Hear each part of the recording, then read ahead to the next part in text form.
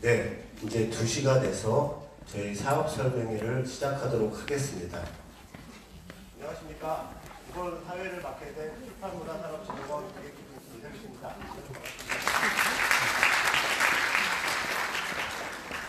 바쁘신 가운데 참석해 주신 내빈 여러분께 깊은 감사의 말씀을 드립니다. 먼저 저희 사업 설명회 진행 순서를 안내하도록 하겠습니다. 오늘, 사, 오늘 산 사업 설명회는 김세현 원장님의 인사 말씀 및 진흥원 비전 가치 등에 대한 설명에 이어 전병근 정책연구통계센터장의 정책연구통계센터 사업 안내가 진행되고 이어서 배진석 산업지원본부장의 산업지원본부 사업 안내가 진행됩니다. 이어서 문준모 문화산업지원본부장 및 한대성 독서지원팀장의 문화지원본부 및 독서 지원팀 사업 안내가 진행됩니다. 아니요, 아니요. 마지막으로 그 오늘 민- 민간의 참석하여 주신 먼저 앉는 게 여러분의. 질의 응답 시간을 가진 후에 폐회될 예정입니다. 사업 설명회를 들으시며 궁금한 사업에 대한 질의 응답은 질의 응답 시간에 문의하여 주시면 담당 본부장이나 팀장들이 성실히 답변 드릴 것입니다. 자 그러면은 그 식순에 의해서 국민 의례가 있겠습니다. 내외 기빈 여러분께서는 좌석에서 일어나 주시기 바랍니다.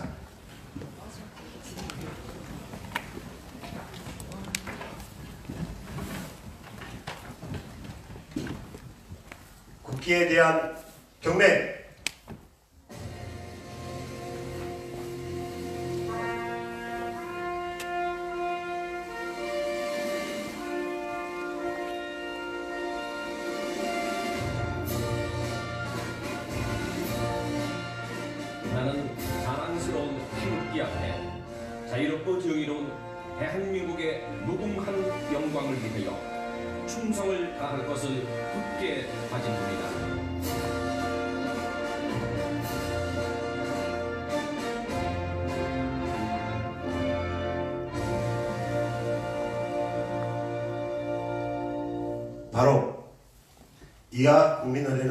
생략하겠습니다. 모두 자리에 앉아주시기 바랍니다. 다음으로는 오늘 사업 설명회를 주관하신 김수영 한국출판문화산업진흥원 원장님의 인사 말씀 및 진흥원의 비전 및 가치 등에 대한 설명이 있겠습니다.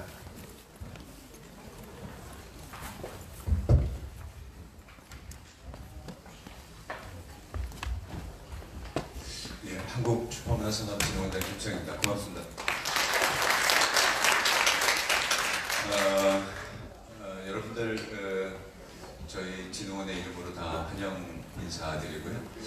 저희 진흥원이 2012년 설립되었고 그 이후로 저희가 본부별로 어, 혹은 팀별로 어, 여러분들 만나서 저희 사업을 설명드리는 기회는 있었는데 이렇게 저희가 모든 사업, 모든 팀, 모든 본부가 모여서 전체적인 진흥원 사업을 어, 설명드리고 여러분들과 대화하는 시간을 갖는 건 이번에 처음인 것 같습니다. 어, 앞으로 어, 이런 기회를 좀 더 자주 마련하고 그래서 여러분들께 저희 진흥원 사업을 설명드리고 어, 여러분의 의견을 청취하는 그런 자리를 앞으로 좀 자주 더 만들겠다라는 약속 말씀드리고요. 어, 오늘 행사의 에, 핵심은 저희 사업을 설명하는 데 있고 저희 진흥원 사업을 전체적으로 소개하는 자리에 있지 않기 때문에 어, 저는 가능하면 짧게 올 한해 저희 진흥원 업무를 수행해 나가면서 어떤 점에 조금 강점을 찍을 수 있나에 대해서 잠깐 설명드리고 어, 본부장님들 그리고 팀장님께 마이크를 넘기도록 하겠습니다.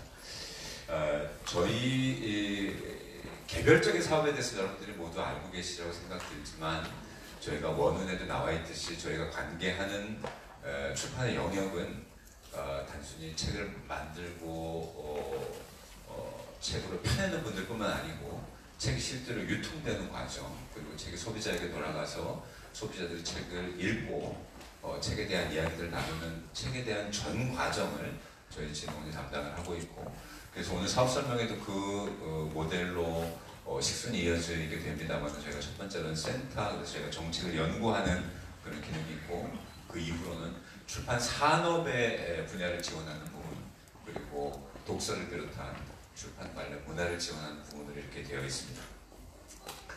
어, 제가 올해 여러 가지 일들을 어, 진행하면서 어, 세 가지 정도 어, 화두랄까요? 이런 것들을 고민하고 있는데 첫 번째는 공공성, 두 번째는 창의성, 세 번째 연계성 이렇게 되어 있는데 공공성이라는 것은 저희가 아, 문체부 산하에 책과 독서와 출판을 다루는 유일한 공공기관이니만큼 저희가 공공적인 이해에 에, 어떤 사업이 어떤 모양에 부합하는지 항상 고민하겠다라는 말씀을 드리는 거고 어, 그리고 창의성은 저희가 진행해 나가고 있는 여러 사업들이 혹시라도 현장에 중요한 변화들 요구들하고 잘 맞아 들어가는지에 대해서 항상 점검하는 자세를 갖겠다라는 말씀이고 마지막으로 연계성은 지금 책과 아, 출판과 독서를 둘러싼 환경이 예, 점점 조금씩 어려워지는 만큼 책을 둘러싼 여러 당사자들, 여러 부문들, 여러 분야들의 협업이 굉장히 무엇보다 중요하고 그 협업 체계를 만들어 나가는데 앞으로 진흥원이 어, 역할을 감당해야 되겠다라는 말씀을 드리고자 합니다. 아, 그래서 어, 현장을 좀 중심으로 저희가 사업을 펼치고 또 저희 진흥원이 주어진 사업의 틀에 머물러서 주어진 사업을 수행해 데만 관심 있는 것이 아니고 새로운 사업을 설계하는 데도 관심이 있는 좋겠다는 드리고 그 새로운 사업을 설계하는 과정에서 여러분들이 좋은 의견이나 아이디어가 있으시면 에, 저희 문 항상 열려 있으니까 좋은 의견을 많이 주시기를 부탁 말씀드리고 그리고 책이 결국 독자가 없으면 책이라는 건 종이를 제본하는 물건에 지나지 않기 때문에 저희가 독자들과 끊임없이 만나가며 소통하는 그런 일을 게을리하지 않겠다라는 말씀을 드립니다. 어, 저희가 어, 이렇게 일곱 가지 정도로 올해 여러 가지 지금 책자에 받으시는 수십 가지의 사업들 중에서 조금 중요한 골자를 한번 뽑아봤는데요. 첫 번째로는 말씀드린 대로 협력 체계를 좀 강화하겠다는 말씀이고 두 번째는 저희가 어, 센터가 어, 작년 하반기부터 이제 본격적으로 어, 가동이 되고 인원 보강도 이루어지고 있는데 정책 관련 연구 기능을 회복하겠다는 말씀을 드리는 것이고 세 번째로는 어, 아마 많이들 알고 계시겠지만 어, 저희 진흥원 내 지금 출판 유통에 관련된 시스템을 개발 중에 있습니다. 이 시스템이 잘, 정, 잘 개발되고 잘 완성되고 잘 정착되는 과정을 저희 진흥원이 잘 지켜보면서 어, 그 과정을 완성시키는데 게을리지 않겠다라는 말씀을 드리는 것이고 어, 네 번째로는 아까 독자 개발 측면하고 연관이 되는 겁니다만은 저희가 이제 독자 개발이라고 말을 할 때는 지역에 있는 여러 지- 지방자치제 활동이라든가 지역에서 있는 도서관 그리고 여러 독서단체들 출판사들 물론 포함해서 말씀 감사합니다. 협업이 무엇보다도 중요하고 그래서 그런 일에 대해서도 어, 올해부터 저희 지금 선도적으로 좀 나서서 일을 해보겠다라는 말씀을 드리는 것이고 독자 개발 사업 확대 마찬가지입니다. 그리고 어, 미래 출판 콘텐츠 확산 지원 강화는 저희가 전자책과 오디오를 오디오북을 비롯한 지금 출판 환경이 여러 가지로 빠르게 변화하고 있는데 발맞추어서 저희 진흥원들보다 개방적으로 유연하게 저희 지원 사업들의 모습 그리고 내용을 어, 바꾸어서 변화시키겠다라는 말씀을 어, 드리는 겁니다. 마지막으로 우수 출판 콘텐츠 지원 홍보 강화 지금 어, 책과 독서 활동이 어떻게 하면 독자들에게 조금 더 가까이 갈 수 있는가를 고민하는 이런 과정에서 예전보다 우수 독서 우수 출판 콘텐츠의 권장 확산 추천 어, 권위를 부여하는 이런 기능들이 조금씩 약해진 느낌이라서 저희 진흥원이 나서서 어, 우수한 출판 콘텐츠, 우수한 도서 어, 에 대해서 조금 더 무게감을 부여하고 그런 것들이 적극적으로 잘 홍보될 수 있도록 당시 재정적인 지원뿐 아니고 홍보 문제에도 저희가 신경을 많이 써서 어, 좋은 책이 널리 널리 알려지고 더 많은 독자를 활보, 확보할 수 있도록 어, 진행돼 나가는 과정 중에 저희 진흥원 역할을 하겠다라는 말씀을 드리고요. 어, 오늘 어, 저희가 어, 여러 준비를 해왔습니다. 그래서 자료집도 만들고 PPT도 준비하고 있으니까 관심 있는 사업 어, 유심히 잘 들어주시고 어, 이따가 질의응답 시간에 궁금하신 거 여쭤봐 주시고 어, 오늘 발표된 내용 중에서 혹시 어, 보완적인 아이디어나 창의적인 또 이후에 생각이 있으시면 저희 질문 문이 열려 있으니까 언제든지 의견을 주시면 어, 저희가 또 답변 드리고 공동으로 어, 보다 책 출판 독서의 보다 낙관적인 미래를 위해서 여기 오신 분들 그리고 저희 진흥원이 같이 협업해서 어, 보다 낙관적이고 밝은 미래를 만들어 나갈 수 있도록 했으면 좋겠고 오늘 이 여는 설명의 자리가 그런 밝은 고 낙관적인 미래를 여는데 첫 시작점이 됐으면 좋겠다라는 생각을 해봅니다. 자, 여러분 감사드립니다. 고맙습니다.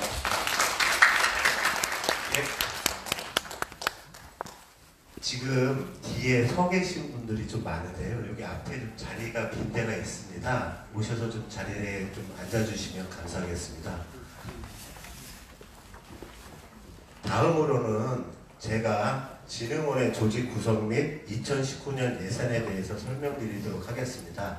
저희 진흥원이 작년 6월에 조직 개편을 통해 가지고 직제를 개편했습니다. 그래서 간단하게 조직 구성 및 그리고 2019년 예산에 대한 설명을 드리도록 하겠습니다.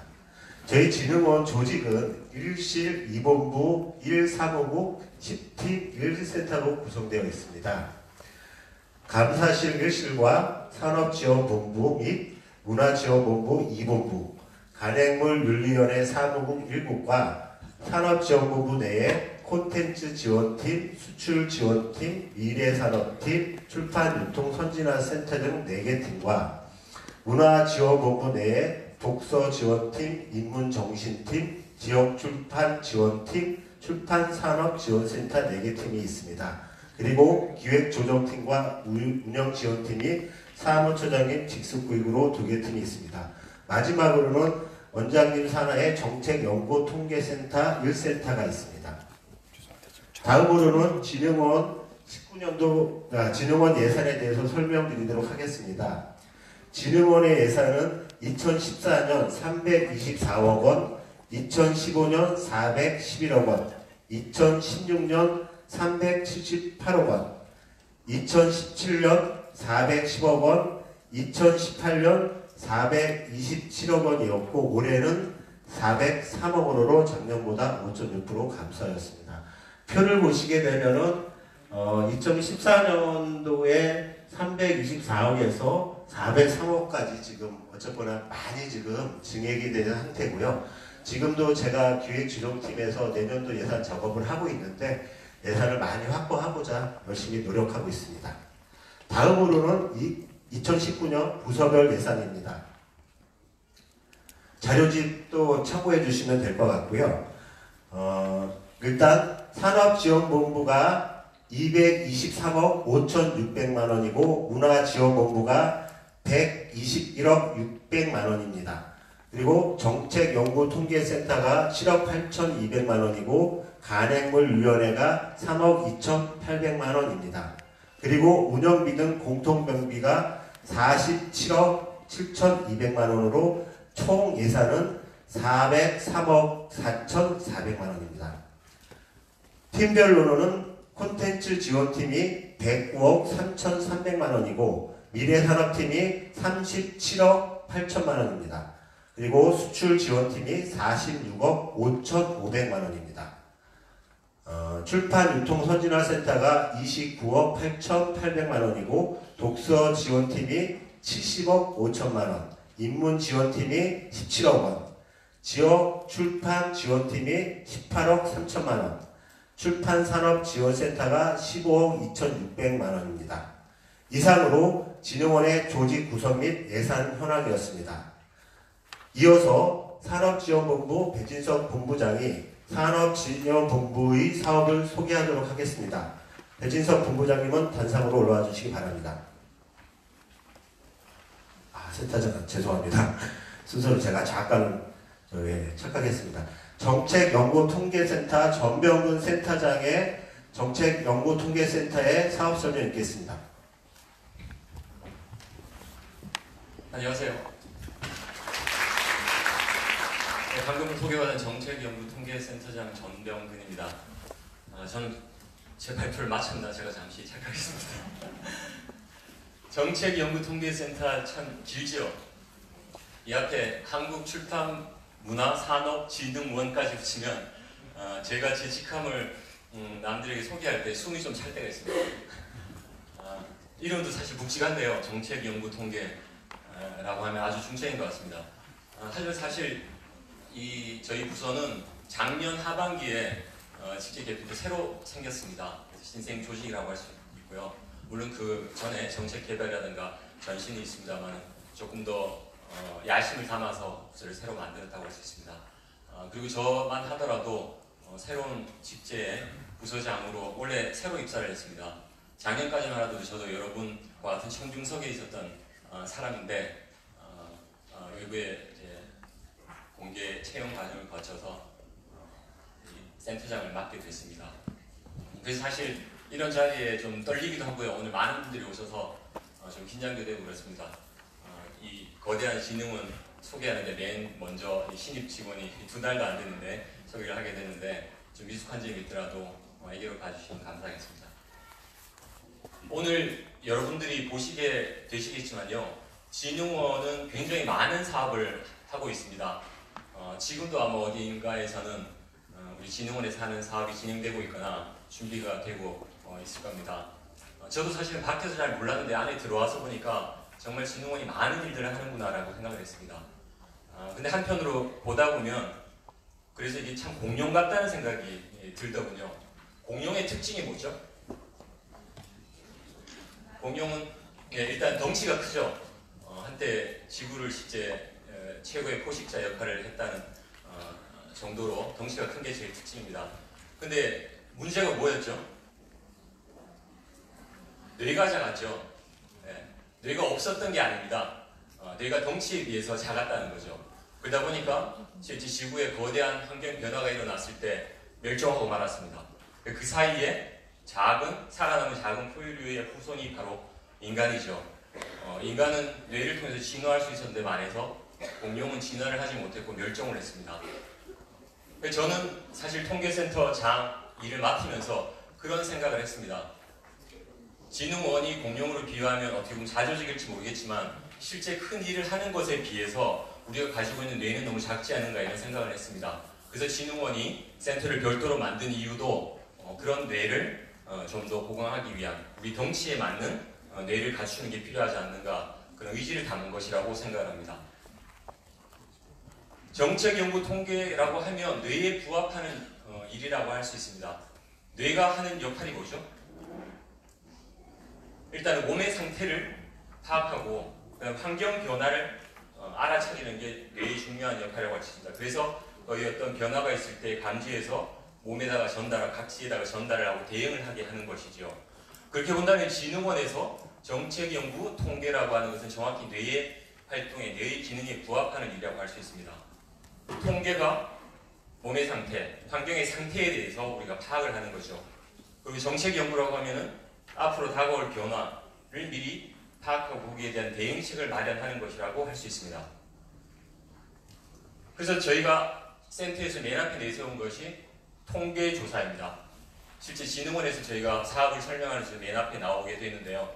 어, 그만큼 통계 조사는 우리 몸과 진흥원뿐만 아니라 출판기의 몸 상태, 환경을 정확하게 진단하는 역할이라고 할 수 있습니다. 그만큼 중요하다고 볼 수 있겠죠. 저는 감히 진흥원이 해온 지금 앞으로도 해나갈 일 중에 가장 중요한 기초적인 활동이 통계 조사라고 생각합니다. 우리가 아플 때 어, 아플 때뿐만 아니죠 연중 건강 검진을 받죠. 종합 검진을 받습니다. 그 이유가 몸의 상태를 알아서 그때 그때 어, 위험을 미리 예방하는 거라고 할 수 있죠. 통계 조사도 또 동일합니다. 저희가 출판기의 상황이 어떠한지를 정확히 알아야 거기에 대한 위험을 감지하고 문제를 해결할 수도 있고 환경 변화에 대치를, 할- 어, 대처를 할 수가 있겠죠. 저희가 통계 조사에서 하고 있는 일들도 그런 것들입니다. 1년을 통틀어서 실태 조사를 벌입니다. 그리고 그 사이의 변화를 또 동향을 파악하기 위해서 연 상반기와 하반기 두 차례에 걸쳐서 통계 조사를 진행을 해 왔습니다. 어, 아마 국내 여러 산업뿐만 아니라 정책을 입안하거나 실행하는 과정에서 어, 이 자료들을 어, 활용을 할 거라 어, 할건 하는 것으로 저는 알고 있습니다. 그만큼 중요한 토대가 될 수 있는데요.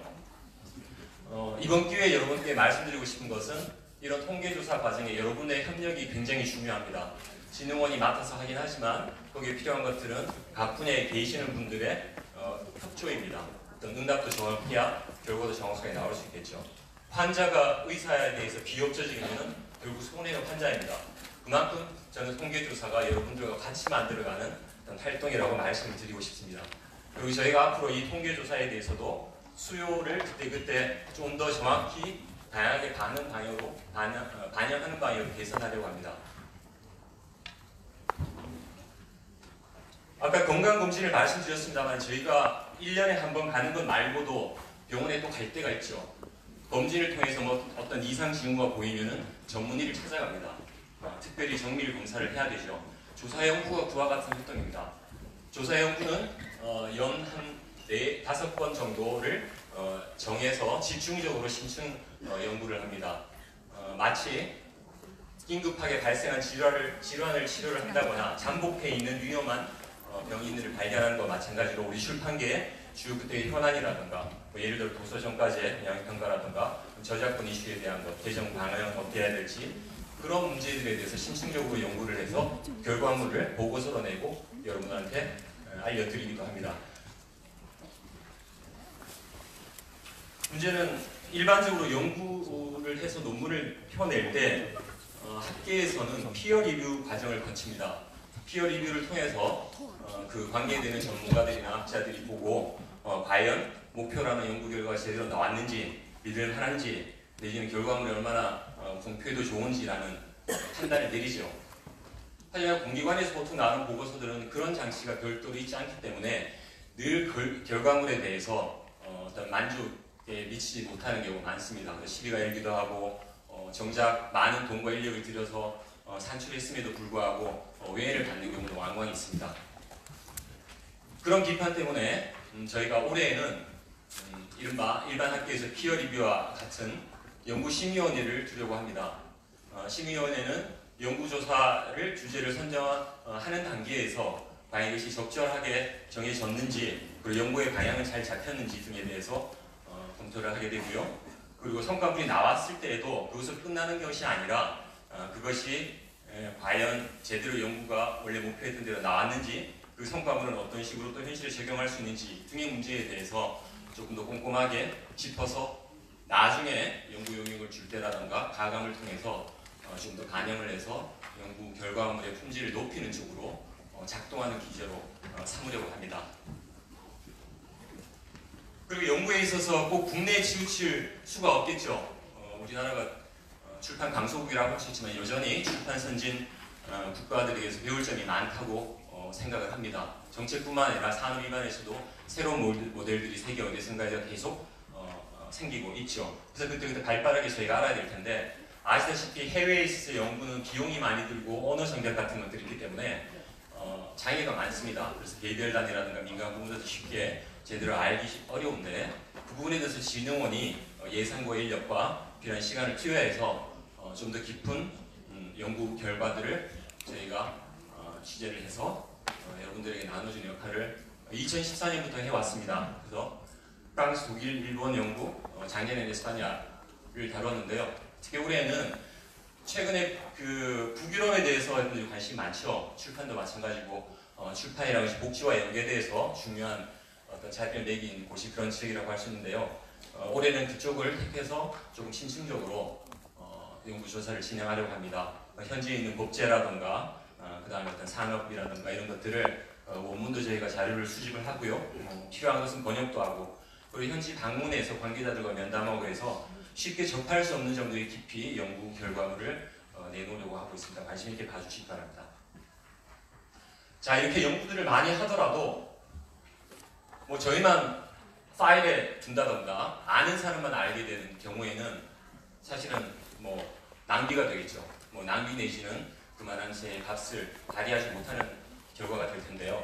사실 그동안에 그런 어, 감이 없지 않아 있었습니다. 그래서 어, 요즘 뭐 말하듯이 확장하는 것이 굉장히 중요하죠. 성과물들을 확장하고 발견과 접근의 기회를 주는 것이 더 중요하다는 것을 저희도 어, 숙지를 하고 해서 이 부분을 좀 더 강화하기로 했습니다. 앞부분에서 원장님이 연계성을 말씀하셨지만 그 맥락에서 저희가 연중에 그런 연구조사라든가 어, 평소에 저희가 숙지했던 결과물 같은 것들, 뭐 사업 성과라든가 내지는 그 과정에서의 여러 가지 의견들을 반영할 수 있는 채널을 만들기로 했습니다. 그 중에 하나가 양면으로 진행이 될 텐데요. 오프라인, 온라인 양축입니다.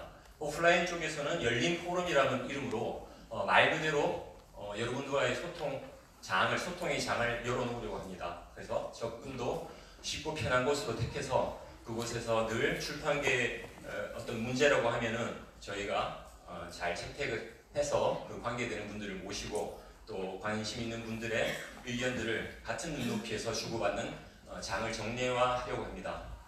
그리고 그 외에도 그동안에 저희가 어, 연말 결산이라든가 정기적으로 해온 컨퍼런스는 그대로 진행을 합니다.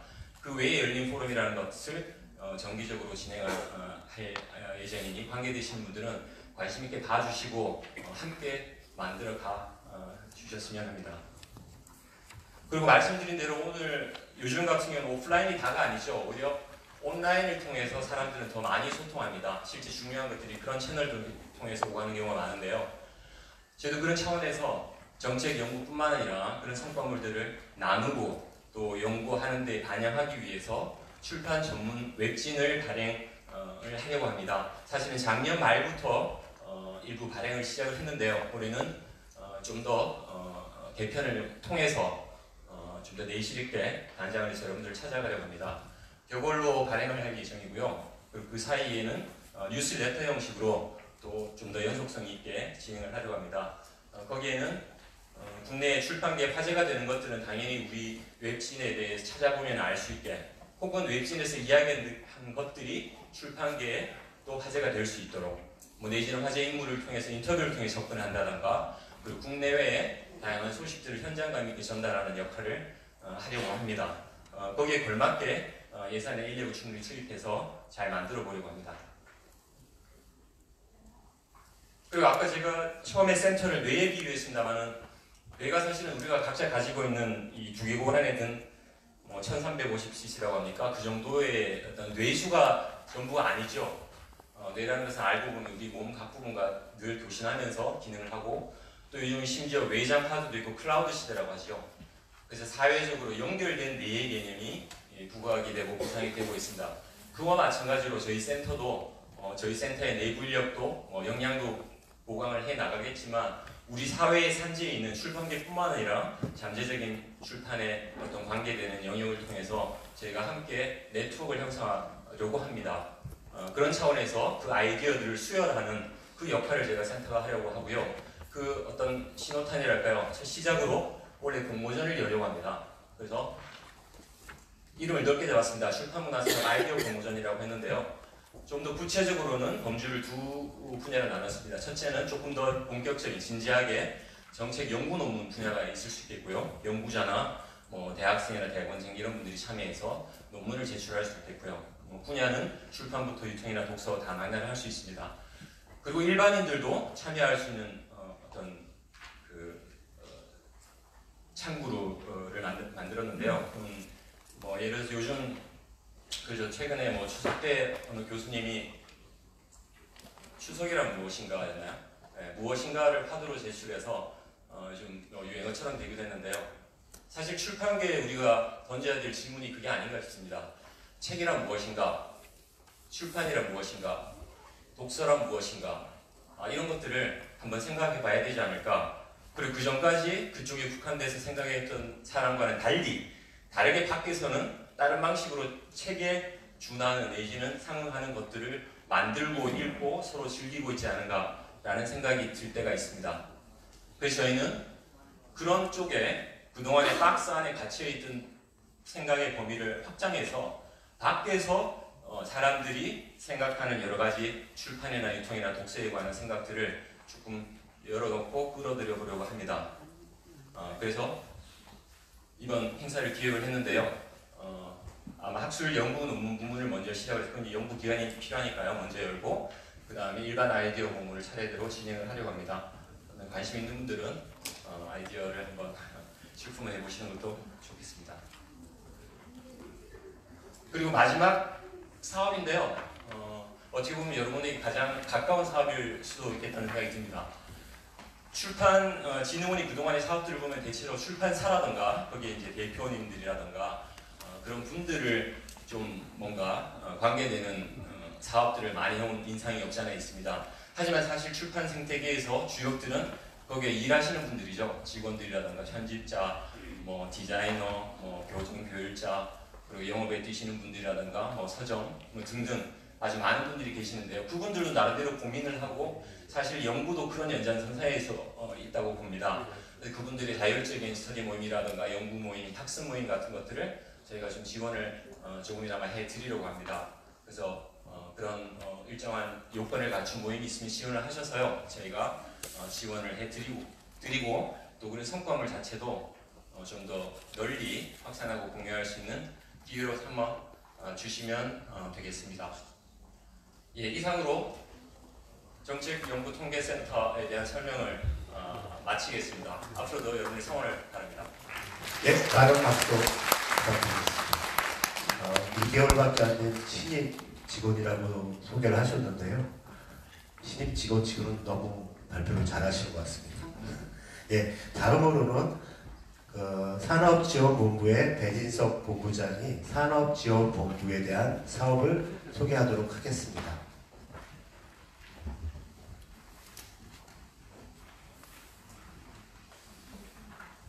예, 산업지원본부장입니다. 어, 저희는 그 소개해야 될 사항이 너무 많아서 그냥 간단하게 정보 전달 위주로 가도록 하겠습니다. 먼저 저희 그 산업지원본부는 컨텐츠 지원팀하고 미래산업팀, 수출지원팀, 출판유통 선진화팀 이렇게 네 개 팀으로 구성되어 있습니다. 그 개별 단위 사업을 소개하기에 앞서서 먼저 각 팀별 그 업무 영역을 간단하게 소개하는 게 좋을 것 같아서요. 말씀드리겠습니다. 네, 콘텐츠 지원팀은 그 명칭에서 보는 것처럼 그 저자와 출판사들이 좋은 책을 저술 하고 또 발간할 수 있도록 그렇게 출판 제작을 지원하고 발간된 도서를 구입 지원하는 그런 사업을 주도하고 있습니다. 총 예산은 109억 3,300만 원으로 수행하고 있고요. 미래산업팀은 그 종이책에서 확장된 전자책과 오디오 부품 디지털 출판 콘텐츠의 제작 지원, 전자출판 산업의 경쟁력 강화와 내수 창출, 또 해외 진출 확대, 출판 신성장 동력 창출을 위해선 위한 기술 고도화 지원 등등에서 37억 8천만 원으로 수행하고 있습니다. 수출 지원팀은 그 저희가 K부로 통칭되는 출판 콘텐츠의 해외 진출과 출판 확- 출판 한류 확산을 위한 인프라 구축, 해외 전시관 운영, 신규 시장 개척 등은 총 46억 5,500만 원으로 수행하고 있고요. 출판 유통 선진화 센터는 출판 유통 선진화를 위한 각종 인프라 구축과 그 지역 서점 지원, 도서정가 재기반과 관련된 각종 사업들을 29억 정도 예상으로 진행하고 있습니다. 제 첫 번째 사업입니다. 세종도 구입 지원 사업입니다. 세종도는 아시는 것처럼 국내 출판사들을 그 직접 수혜 대상으로 하고 전국 도서관 등을 간접 수혜 대상자로 하고 있습니다. 그 학술 도서는 보시는 것처럼 이런 기회에 320종 국내 첫판 학술서를 대상으로 진행하고 있고요. 교양도서는 연이에 상하반기 각 220종씩 총 440종을 선정하고 있습니다. 그 선정된 도서는 종당 1천만 원 이내로 저희가 구입 지원을 하고 있고요. 이렇게 구입 지원된 도서들은 어, 도서관을 포함해서 전국에 한 3,500곳 정도에 보고되고 있습니다. 지금 사업 절차 보시면은 이제 상하 나눠져 있는데 아직까지 구체적인 뭐 공고 일자가 정해지지는 않았습니다. 꼭 저희 생각으로는 그 상반기는 최대한 4월 정도 기점으로 하반기는 최대한 8월 정도 기점으로 해서 늦지 않도록 추진할 예정입니다. 잠깐 저희 그 세종도서와 관련된 홈페이지 한번 보시겠습니다. 지금 보시는 화면이 세종도서 선정 보급 사업 홈페이지입니다. 이 홈페이지를 통해서 저희가 그 출판사로부터 그 접수도 받고요. 그리고 또 보급 관련해서 보고 신청도 받고 또 선정이 되면 선정된 목록들을 또 확인도 할 수도 있고요. 예를 들면 음, 지금 화면에 지금 커서 좀 찍어놨는데요. 오른쪽으로 좀 가보시면 이게 이제 작년에 저희들이 세종도서 선정한 내역을 그 인포그래픽으로 표현한 겁니다. 그래서 그날별로 뭐 선정 현황이라든가 교양과 학술을 나누어서 어느 정도의 비중으로 저희가 그 선정 대학 공부를 할 수가 있고 그리고 이제 선정 선정된 도서의 뭐 창작서와 번역서 현황, 독자별로 어떤 정도의 구성으로 세종 도서가 선정되었는지, 그 선정 도서는 어떤 보급처에 주로 갖고 그 지역별로는 뭐 현황이 어떻게 되었는지 이런 것입니다. 뭐 이런 부분들이 목록과 함께 전체적으로 다그 홈페이지에 구성이 되어 있기 때문에 관심 있으신 분들은 목록도 확인하시고 홈페이지를 활용해 주시면 좋을 것 같습니다.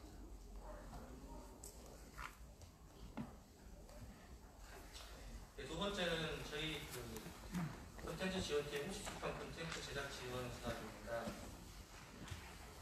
이 사업은 국내 출판사와 저자를 수혜 대상으로 하고 있습니다. 이 출판사는 대한민국의 사업자 등록이 되어 있어야 되고요. 이 저자의 경우도 대한민국 국적자여야만 합니다. 국내에서 이 발간된 창작 공고, 알로 보시면 한90% 이상 정도의 소득이 완료된 창작 공고를 저희가 대상으로 하고 있습니다. 접수 받을 때 저희가 다섯 개 분야, 인문, 교양, 그리고 사회학, 그리고 일반과학, 문학, 아동 등 5개 분야로 저희가 지원을 받고요. 이게 분야별로 접수받고 분야별로 심사를 진행합니다. 2018년과 동일하게 저희가 이번에는 137편을 선정할 예정이고요. 그 선정이 되면 그 출판사에 저희가 700만 원의 제작 지원금을 지급하고 저자에게도 300만 원 이렇게 해서 총 한 편당 한 편당 1000만 원씩을 지원하는 사업입니다. 좀 특이하게 금분부시 보시면 이 사업은 저희가 이렇게 포토제를 운영하고 있습니다. 선정할 때 1인 출판사, 지역 출판사의 포토를 30% 정도 운영하고 있기 때문에 137편 기준으로 보면 한 40편 이상 정도는 포토로 진행된다고 보시면 될 것 같습니다. 이 사업은 현재 사업 공고가 저희 홈페이지에 나와 있습니다. 그래서 3월 7일부터 3월 21일까지 접수 예정이니까 그 출판진흥 홈페이지 들어가시면 접수할 수 있는 주시고요. 이 사업과 관련해서 꼭 한 가지 점검해 직접 뭐 알려드려야 될 부분이 작년하고 달라질 부분이 하나 있습니다. 하나 달라질 부분이 작년에는 그 기획안도 저희가 접수를 하면서 선정을 했었는데요. 올해는 그 원고만 접수를 할 겁니다. 작년하고 달라진 점이 있으니까 확인하셔서 신청해 주시면 좋을 것 같습니다.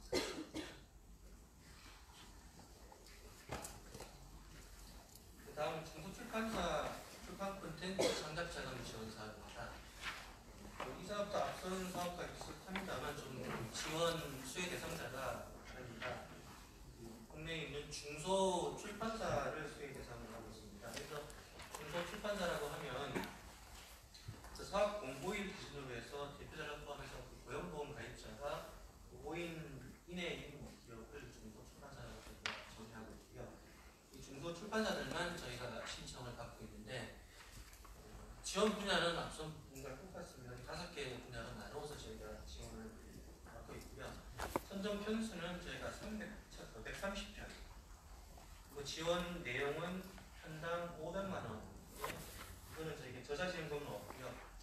출판사에게 제작 지원금으로 편당 500만 원씩 지원할 예정입니다.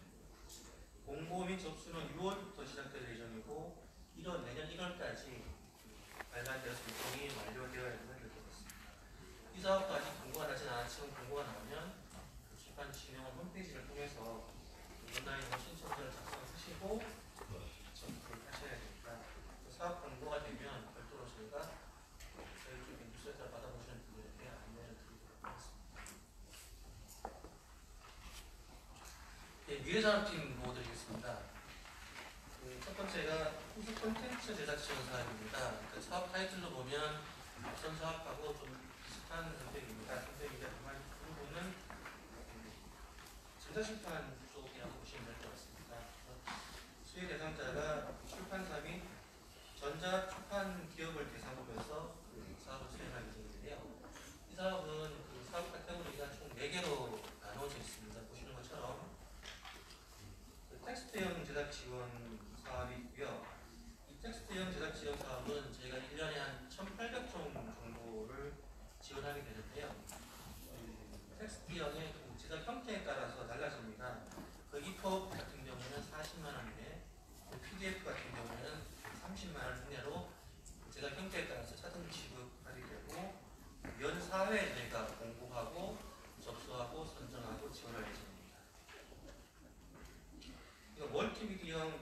있습니다. 이 멀티미디어형은 저희가 20종 내외 정도를 그 지원할 예정입니다.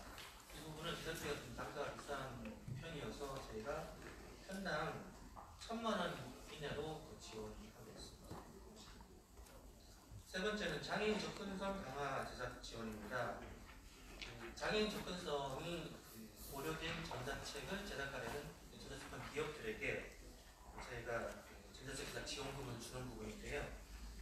이 부분도 그 편수는 저희가 10편 내외 정도 그리고 지원금은 천만 원 이내에서 지원을. 그 오디오북 제작 지원이 부분은 작년하고 달리 그 원래 제작 부분입니다. 저희가 한 30종 정도를 그 지원할 예정이고요. 그 제작 실비는 그 편당 동당 300만 원 한도 내에서 제작 지원을 지원할 예정이 있습니다.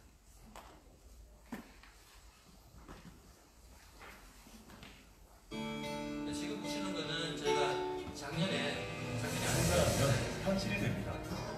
원하면 배울 수 있고, 궁금하면 볼 수 있고, 직접 들어볼 수 있고, 느낄 수 있습니다.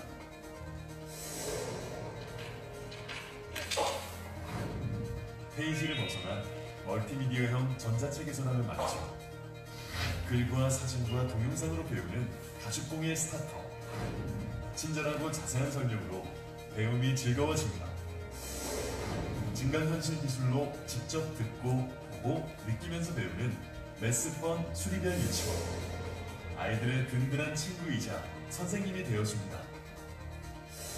아기자기한 일러스트와 아름다운 독도를 소재로 한 보물섬 독도의 가족들. 순수한 어린이의 시선으로 펼쳐낸 이야기는 우리들의 마음에 온기를 심어줍니다.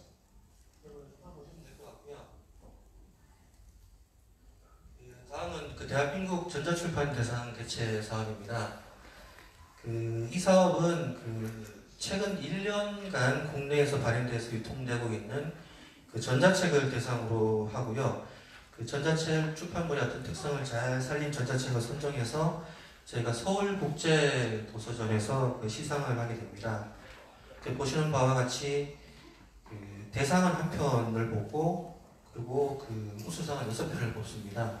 대상은 문화체육관광부 장관상이고요. 시상금은 700만 원입니다. 우수상은 뭐 진흥 원장상으로 해서 300만 원 정도 저희가 시상금을 드리게 됩니다. 그 선정되면 이 선정된 수상자는 저희가 뭐 국내 도서전이라든가 뭐 전시 체험 행사를 통해서 이렇게 홍보도 해드리고요. 그 작년과 달라진 부분은 올해부터는 저희가 그 선정된 출판사들에게 이 선정작을 또 마케팅에 도움을 드리려고 홍보할 수 있는 홍보비를 별도로 저희가 200만 원 한도로 그 선정작에 대해서는 지원하게 되어 있습니다. 그 부분이 작년하고는 달라진 부분이고요. 공고는 저희가 3월 중에 공고를 내도록 하겠습니다. 네, 다음은 전자출판 지원센터 운영 관련입니다. 그 전자출판 지원센터 운영 사업은 그 뭐 출판사 재직자라든가 예비 창업자, 뭐 일반인들 모두 수혜 대상으로 하는 사업입니다. 현재 그 잘 아시는 한국출판협동조합 2층과 3층에 그 지원센터가 구축되어 있고요. 이 센터에서는 뭐 전자책 제작과 관련되는 컨설팅 사업이라든가 뭐 교육 프로그램 운영, 뭐 사업 교류회나 세미나 등등해서 그 행사와 전시, 체험 프로그램, 거기에 또 오디오북과 관련되는 그 녹음실하고 뭐 팟캐스트 같은 걸 녹음할 수 있는 시설까지 갖추어져 있습니다. 그래서 한마디로 말씀드리면 뭐 제작이나 컨설팅, 교육시설 체험을 그 원스톱으로 서비스하고 체험할 수 있는 공간입니다. 작년 한 해 한 2,800여 명 정도가 그 센터를 방문하셨고요. 그 제 센터는 공휴일을 제외하고는 그 상시 오픈되어 있습니다.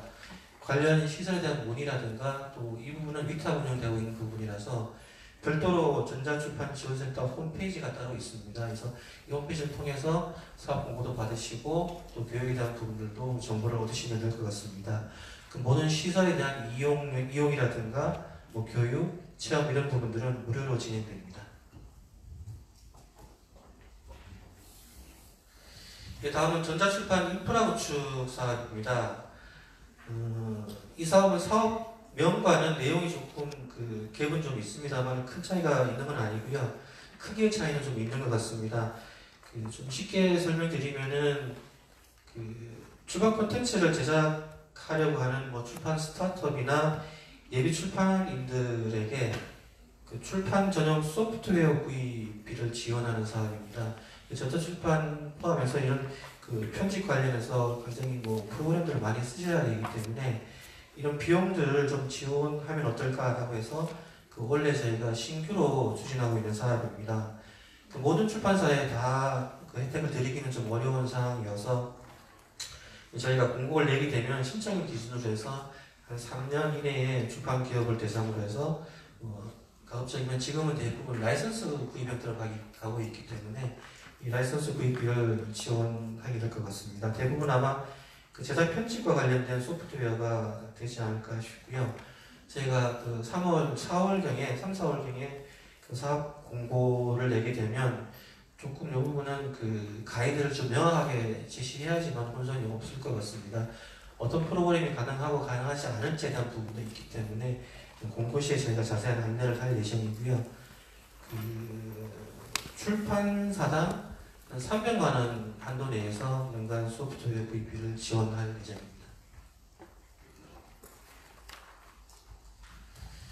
예, 전자출판 활성화 세미나 어, 연구조사 및 세미나 관련 부분인데요. 이 앞쪽 부분은 뭐 그, 센터장님이 잘 설명을 해주셨지만 각 이제 그 팀별로 단위 사업별로도 일정한 그 연구와 관련된 부분이 진행되는 부분이 있습니다. 당연히 이 연구조사가 진행이 되면 정책연구센터와 협조를 해서 말씀드린 대로 뭐 타당성 검토나 활용에 대한 부분도 당연히 점검을 할 예정이고요. 음, 뭐 저희 예산이 많지는 않지만 한 건 내지 한 두 건 정도는 전자출판과 관련되는 그 조사 연구와 그 몇 번의 세미나 정도를 그 개최할 예정입니다. 음, 뭐 예를 들면 요즘 가장 또좀 그 이슈가 되고 있는 부분이 어쨌든 공공도서관을 중심으로 한 B2B 그 전자출판물 거래 이런 부분들이 좀 쟁점 사항이기 때문에 뭐 그런 부분들이 원래는 그 주제가 될 수 있을 것 같고요. 이 부분은 저희가 조금 더 주제와 그 수행 방법, 절차 이런 부분들을 검토해서 4월, 5월 경에 저희가 그 공고를 내도록 하겠습니다. 예, 전자출판 국제도서전 참가 지원 사업입니다. 그, 이 사업은 국내 이제 전자책 콘텐츠 및 기술을 그 해외에다가 홍보하고 수출을 지원하기 위한 사업입니다. 전체적으로 그 두 개로 사업지가 나누어져 있다고 보시면 됩니다. 그 지원 내용 보시면 아시는 것처럼 그 국제도서전 한국전자출판관 운영이라고 되어 있습니다. 저희가 매년 3, 4개국 정도를 참여하고 있는데요. 그 작년에는 볼로냐하고 그 베이징, 프랑크푸르트 이렇게 해서 총 저희 참여 기업이 한 22개 정도 기업이 그 세계 도서전에 참여했었고요. 음, 근데 원래는 저희가 5월 달에 그 북엑스포 아메리카를 추가해서 총 4개 도서전에서 그 전자출판관을 운영할 예정입니다. 지금 본론의 아동도서전 쪽에는 그 참가 사례 확정이 되어 있고요. 나머지 그세개 도서전에 대해서는 지금 현재 그 3월 6일까지 접수가 마감 예정입니다. 지금 현재 공고가 되어 있습니다. 되어 있어서 그 참가를 그 희망하시는 그 업체에서는 진원 홈페이지에서 바로 그 신청해 주셔야 할 것 같고요. 이 참가 사로 결정이 되면 저희가 그 한국관을 전자관을 따로 꾸리기 때문에 그 안에 이제 그 기업별로 홍보할 수 있는 또 그 부스를 마련하게 되고 그 부스가 운영될 수 있도록 그 홍보 그리고 통역비 이런 부분들을 지원해서 그 부스가 잘 운영될 수 있도록 저희가 하고 있고요.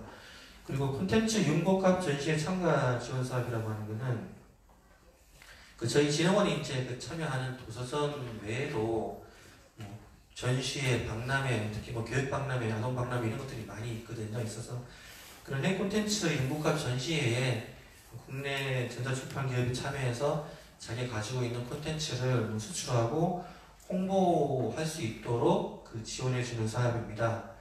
그 이 사업은 그 업체당 최대 천만 원 한도 내에서 저희가 그 보시는 것처럼 부스 참가비, 전시비, 홍보비, 통역비, 뭐 물품 발송비 등등을 저희가 지원해 드리고 있습니다.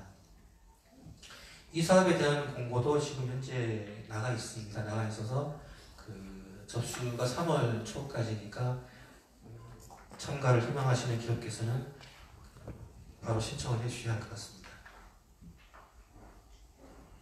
그 다음은 전자책 내수 창출 지원 사업입니다. 그 이 사업도 세부 사업으로 보면 그 디지털 부페어 코리아 사업과 전자책 체험 공간 사업 두 가지로 나눠져 있는데요. 음, 디지털 부페어 코리아는 그 저희가 출협에다가 예산을 재교부해서 서울국제 도서전과 같은 공간, 같은 시기에 열리게 되고요. 그 전자책 체험 공간은 저희가 그 작년에 시범 사업을 통해서 그 원래 좀 확대한 사업입니다.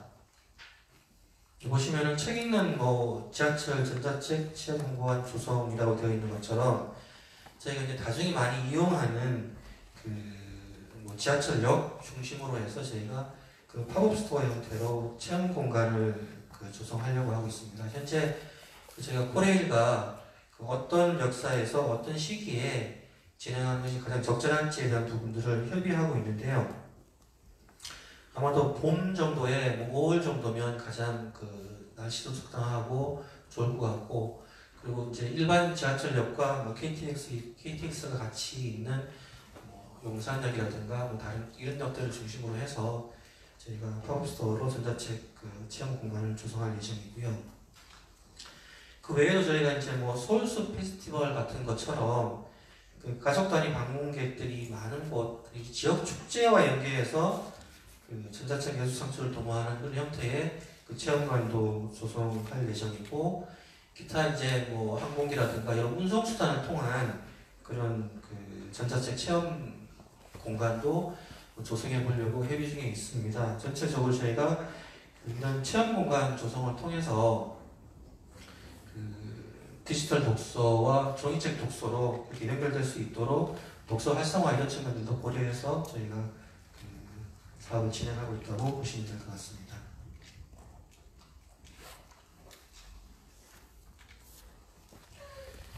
예, 다음은 오디오북 산업기반 확충 사업입니다. 이 사업은 저희가 신성장 동력이라는 이름으로 그 19년도에 그 새롭게 시작하는 신규 사업입니다. 아, 마찬가지로 보시는 것처럼 이것도 그 오디오북 제작 시험센터 구축이라고 하는 그 하나의 큰 사업과 그 오디오북 체험 공간 조성이라고 하는 두 개의 세부 사업으로 나뉘어서 추진할 예정입니다. 제작센터는 저희가 이제 오디오북을 제작, 녹음할 수 있는 일단 시설을 구축할 예정인데요. 이렇게 시설을 구축을 해서 그 오디오북을 제작하려고 하는 뭐 출판사가 있을 수도 있고 뭐 출판사 관계자일 수도 있고 뭐 나레이터일 수도 있고 이런 분들을 위해서 시설을 임대해주고 제작할 수 있는 지원을 하고 그리고 저희가 서울에는 한 곳 정도 그리고 수도권 외의 곳에 한 곳 정도 해서 전국에 두곳 정도의 그 녹음 시설 센터를 구축할 예정이고요. 해당 시설은 당연히 저희가 무료로 대여하면서 그 시설적인 부분 외에 저희가 그 오디오북 제작에 필요한 뭐 나레이터라든가 뭐 프로그램 프로듀서 교육 같은 부분들도 병행해서 이 제작지원센터에서 운영할 예정입니다. 오디오북 체험 공간 조성도 앞서 말씀드린 것처럼 뭐 전자책 체험 공간과 비슷한 개념으로 같은 컨셉으로 가기는 해야 할 것 같은데요. 일단 저희가 한 그 이것도 유동 인구가 좀 많은 곳 중심으로 해서 저희가 뭐 서점일 수도 있고 북카페일 수도 있고 해서 한 10곳 내외 정도를 저희가 체험존을 만들려고 합니다. 이 체험존을 만들면 저희가 오디오북을 제작하는 사업도 있어서 그 체험 쪽에서는 체험존에서는 저희가 그 제작한 한 100여 종 정도의 오디오북을 학교에 그 체험할 수 있고 오디오북이 어떤 것이라는 부분들을 이해할 수 있도록 그 도움을 드리려고 하고요. 그 이런 부분들은 지금 저희가 구축 준비 중에 있어서 뭐 관련 시설들도 도입을 해야 되고 또 하드웨어를 구축해야 되는 부분이 있습니다. 그 아마도 하반기 정도에 그 이 사업은 진행 그 실제로 운영이 될 수 있을 것 같고요. 그 운영이 되 운영이 되게 되면 별도로 이 오디오북 산업개발 확충 사업에 대해서는 전반적으로 그 사업 안내와 홍보를 별도로 진행하도록 하겠습니다. 예, 출판 콘텐츠 가치 증대 기술 고도화 사업입니다. 그 이 사업은 그 출판 산업에서 어떤 혁신적인 성장을 유도할 수 있는 그 기술에 대한 지원 사업이라고 보시면 될 것 같습니다. 그 출판 산업과 그 테크놀로지를 기술 뭐좀 연결시킬 수 있는 그런 중소 뭐 중견 기업들 어, 기업들에게 혜택을 드리려고 하고 있고요. 저희가 총 다섯 개 과제 정도를 2019년에 진행을 하려고 합니다. 지정 과제는 한 개, 그리고 그 자율 과제는 총네개 정도인데요.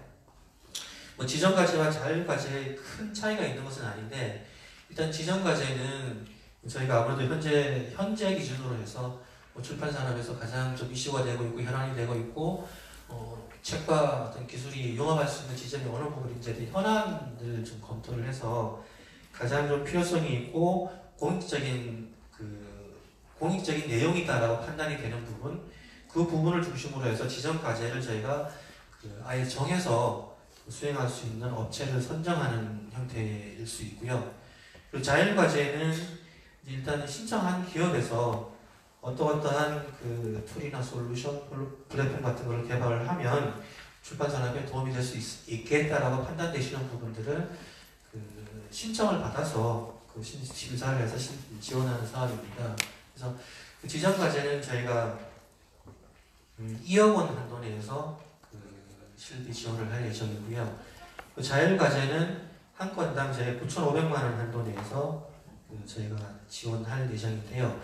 2018년에 저희가 처음으로 이 사업을 그 지정 과제 없이 자율 과제만으로 그 추진한 적이 있습니다. 그래서 여기 표현은 되어 있지 않는데 그 자율 과제가 어떤 것이 있었는지 한번 설명드리고 참고해서 좀 관심 있는 분들은 그 지원해 주시면 좋을 것 같습니다. 작년에는 그 총 3개를 지원을 했는데요. 그 EPUB 3 기반의 그 통합 서비스 플랫폼 개발이라고 하는 그 연구 과제가 하나 있었고요. 그리고 전자책을 활용한 출판사용 on-demand publishing 플랫폼 및 위젯이라고 하는 그런 사업 과제가 하나 있었고 EPUB 3 전자책 오디오 동기화 저작 도구 개발이라고 하는 부분이 작년에 그 선정된 과제입니다. 이 세 개 과제가 작년에 선정되어서 비슷한 형태로 지원이 되었습니다. 그 올해는 저희가 3월 정도부터 사업을 시작하려고 합니다.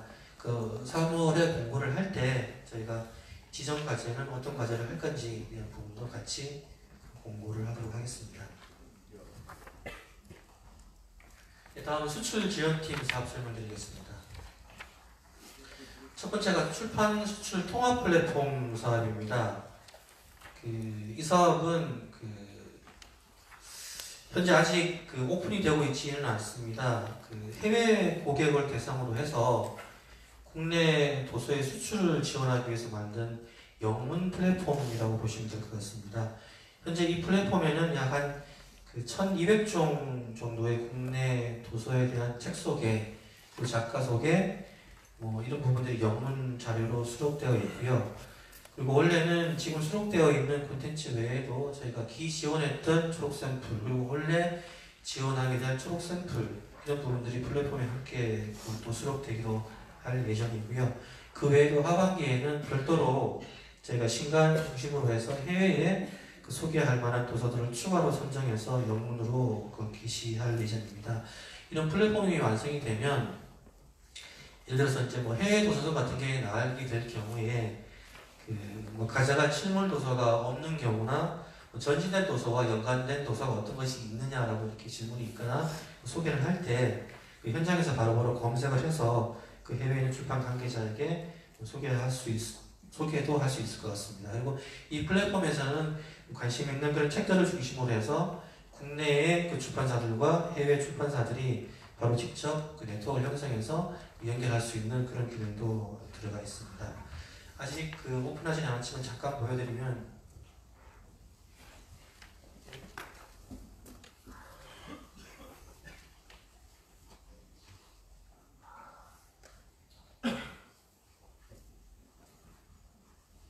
네, 이런 형태로 보시면 될 것 같습니다. 책들이 이제 쭉 아래쪽으로 지금 나 내려와야 되는데 아직 책 소개가 이렇게 이런 형태로 지금 하드 형태로 나열되어 있고요. 제일 보시면은 이제 뭐 이렇게 책에 대한 소개, 뭐 저자에 대한 소개, 뭐 출판사에 대한 소개 이런 부분들이 있고요. 이 플랫폼 안에는 단순히 이제 책만이 있는 건 아니고 저희가 이제 국내 어떤 그 트렌드와 관련된 그런 부분들 이런 부분들도 어, 소개할 수 있는 그런 내용들이 들어갈 예정입니다. 아직까지 점검 작업 중에 있어서요. 이 부분도 또 그 오픈하게 되면 오픈하기 전에 별도로 제가 공부를 진행하도록 그렇게 하겠습니다.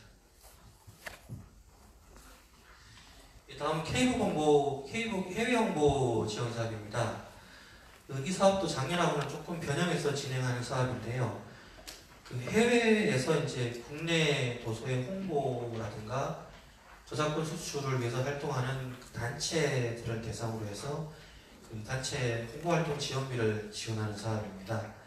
그 원래는 한 5개 내외 정도의 단체를 선정을 하게 될 예정이고 그 해당 단체가 신청하는 사업 내용들에 따라서 저희가 차등해서 예산을 지원할 예정입니다. 일단 지금 저희가 생각하고 있는 부분은 그 해외 독자를 대상으로 하는 뭐 독자 창출형 형태가 있을 수 있고요. 그리고 해외에 있는 출판사라든가 에이전시를 대상으로 해서 또 K북을 홍보할 수도 있기 때문에 뭐 산업 지원형이라고 저희 이름 붙이긴 했지만 뭐 이런 여러 가지 형태로 저희가 그 해외에서 한국 책을 소개하는 단체를 대상으로 해서 그 사업을 진행할 예정입니다. 그 3월에 저희가 사업 공고를 내고 사업을 선정해서 하반기에는 해외에서 이런 사업들이 진행될 수 있도록 할 예정인데요. 이, 이 부분은 뒤쪽에도 설명드리겠지만 저희가 문학 번역원 쪽에도 유사한 사업이 하나 있긴 합니다. 그래서 저희가 그 사업의 중복성이라든가 내용적인 충돌이 없도록 이제 조정을 해서 저희가 사업 공고를 내도록 하겠습니다. 예, 다음은 찾아가는 도서전 개최 사업입니다. 그, 이 사업은 이제 마찬가지로 뭐 이름에서도 알 수 있는 것처럼 그 해외 시장에서 이제 국내 출판물의 저작권을 수출하는데 도움을 주기 위해서 저희가 해외에 직접 전시관을 꾸려서 운영하는 사업입니다. 그 앞서 설명드렸던 뭐 어, 한국 전자출판관과 좀그 음, 컨텐츠의 그 내용적인 측면에서 차별을 두는 사업입니다. 주로 이제 종이책 출판사들 중심으로 해서 저희가 선정을 많이 하는 사업이고요. 그 2015년도에 저희가 중국을 찾아가면서 이 사업이 처음 시작되었습니다. 그리고 작년에는 저희가 그 4개국을 찾아갔고요. 그 원래는 저희가 총그 5개국을 찾아가게 됩니다. 그 지역별로 분포를 보시면 그 동남아 쪽에 있는 베트남과 그 말레이시아 쪽으로 가고요. 그리고 일본, 그리고 미국, 그리고 남미 쪽에 아르헨티나 이렇게 그 다섯 개 국가에 저희가 별도의 시기에 그 별도의 공간 도서관하고는 관계 없습니다. 그날에서 열린 도서관이 아니라 저희가 별도의 공간과 시기를 조정을 해서 그 해외에서 이 나라에서 이제 콘텐츠를 수출을 하고자 하는 국내 참가자들과 도서들을 모아서 그 나라에서 음, 국내에 저희가 가지고 간 콘텐츠를 수입하고자 하는 이 출판사들을 사전에 그 매칭을 만들어서 현장에서 보통 한 3일 정도의 그 매치 매칭을 진행하는 행사고요. 그 이 사업도 이제 참가자로 선정이 되시면 저희가 전시관 부스는 당연히 마련해드리고 그리고 이 부스가 운영될 수 있도록 그 통역원 지원하고 또 이 전시관 부스와 관련된 홍보물이 있을 수도 있기 때문에 이 홍보물에 대한 홍보비 지원 부분이 나가, 나가게 됩니다. 그 이 사업에는 지금 총그 다섯 건이 나가기 때문에 그 음, 공고일 기준으로 해서 저희가 한 3개월 정도 그 행사가 벌어진 날짜 기준 3개월 정도 전에 저희가 그 참가사 모집 공고를 하고 그리고 참가사를 선정을 해서 저희가 어, 현장에서 참가사 중심으로 한 전시관을 운영할 예정입니다. 지금 보시는 거는 그 도서관 기간 내에 그 이루어지는 국내 출판사 관계자분들과 해외 출판사분들이 그 비즈 매칭을 하고 있는 그런 현장 모습입니다. 그리고 이 사진은 저희가 같이 참가하는 그런 출판사분들께서 그 현지에 있는 출판 관계자 출판사들을 대상으로 해서 자국의 콘텐츠를 그 설명하고 수출 홍보하는 피칭 행사 어, 장면입니다.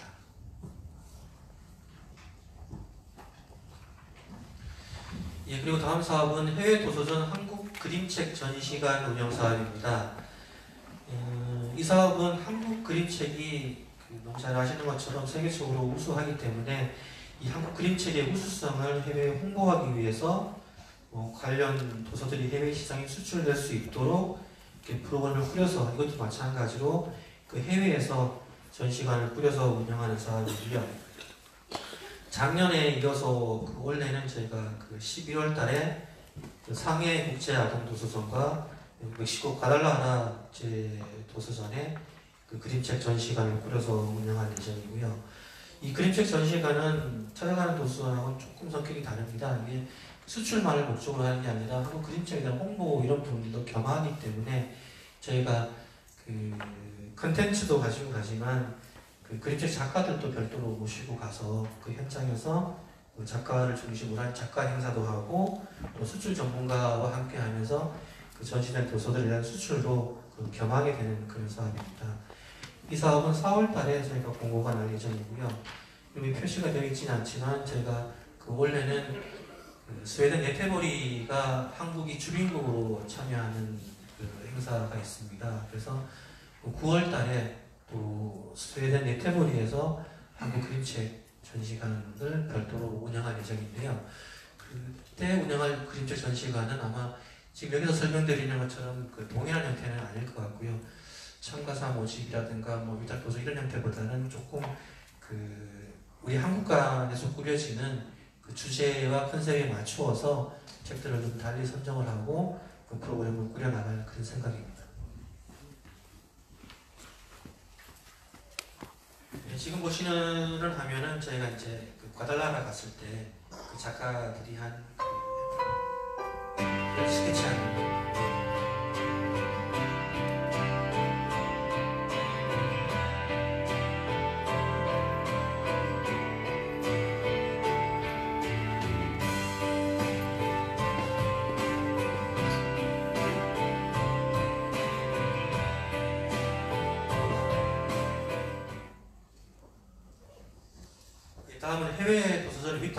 수출 지원입니다. 그 이 사업은 쉽게 설명드리면 저희가 이제 그 참가사나 뭐 저희 진흥원이 매번 다 나갈 수 없으니까 그 해외 도서전의 그 에이전시를 저희가 선정을 해서 판명을 하고 그 에이전시가 그 해당 도, 해당 그 도서전에 그 위탁된 국내 컨텐츠를 가지고 가서 홍보를 하는 사업입니다. 수출까지도 연결시켜주는 사업이기 때문에 그 수혜 대상자는 국내 출판사와 에이전시를 대상으로 하는 사업이라고 볼 수 있습니다. 그 에이전시에게는 해외 도서전 참가에 필요한 실비를 지원할 예정이고요. 그 연간 맥시멈 800만 원 한도 내에서 지원하고 있습니다. 출판사 쪽에는 도서전별로 최대 그 5종의 도서에 대해서 수출 상담을 지원하고 있습니다. 이 사업은 이제 곧 3월 달에 바로 공고가 나고 위탁 도서도 선정하고 그리고 에이전시도 선정을 해서 저희가 그 각종 도서전에서 어, 수출과 홍보가 이루어질 수 있도록 진행하도록 하겠습니다. 국내 어, 출판 콘텐츠 해외 발간 지원 사업입니다. 그, 이 사업은 국내의 국내 출판물의 어떤 저작권을 수입해서 그 책으로 발간하려고 하는 해외 출판사를 대상으로 하는 지원 사업입니다. 그래서 해외 출판사가 국내 컨텐츠를 저작권 계약을 하고 발간했을 경우에 그 발간 비용, 발간 지원, 발간비 일부를 지원하는 사업인데 연간 저희가 한 그 40종 정도를 그 선정해서 지원할 예정이고요. 그리고 이게 국가별로 이제 뭐 여러 가지 좀 차등이 좀 필요해서 저희가 어, 원래는 그 수출되는 수출, 어, 수입해서 이제 수출하는 해 출판사의 권역에 따라서 그 2,000불에서 3,000불 사이 정도에서 저희가 차등해서 뭐 지원하려고 하는 사업입니다. 이 사업도 앞서 말씀드린 K북 홍보 지원 사업과 마찬가지로 조금 그 번역원하고 영역 조정을 해야 될 부분이 있어서 저희는 가급적이면은 그 문학 분야보다는 일반 실용 도서라든가 문학 외의 도서들이 많이 그 음, 지원될 수 있도록 그렇게 좀 그 쿼터나 이런 부분들을 번역원과 협의해서 진행할 예정입니다. 다음은 수출형 출판 홍보 자료 지원 사업입니다. 음, 이 사업은 국내 출판사 및 에이전시를 대상으로 하는 사업인데요. 아시는 것처럼 그 초록 샘플, 뭐 포트폴리오 이런 것들 지원하는 사업입니다. 국내 출판물을 해외에 이제 그 수출하려면 그 당연히 이제 그 초록이나 샘플 이런 부분들이 있어야 해외 그 관계자들에게 어필할 수 있기 때문에 저희가 초록은 한 그 최대 16만 원 이내에 그 번역 실비를 지원하고 있고요. 샘플은 최대 150만 원 이내에 번역 실비 그리고 포트폴리오는 저희가 400만 원 이내에 그 제작 실비를 또 별도로 지원하도록 되어 있습니다.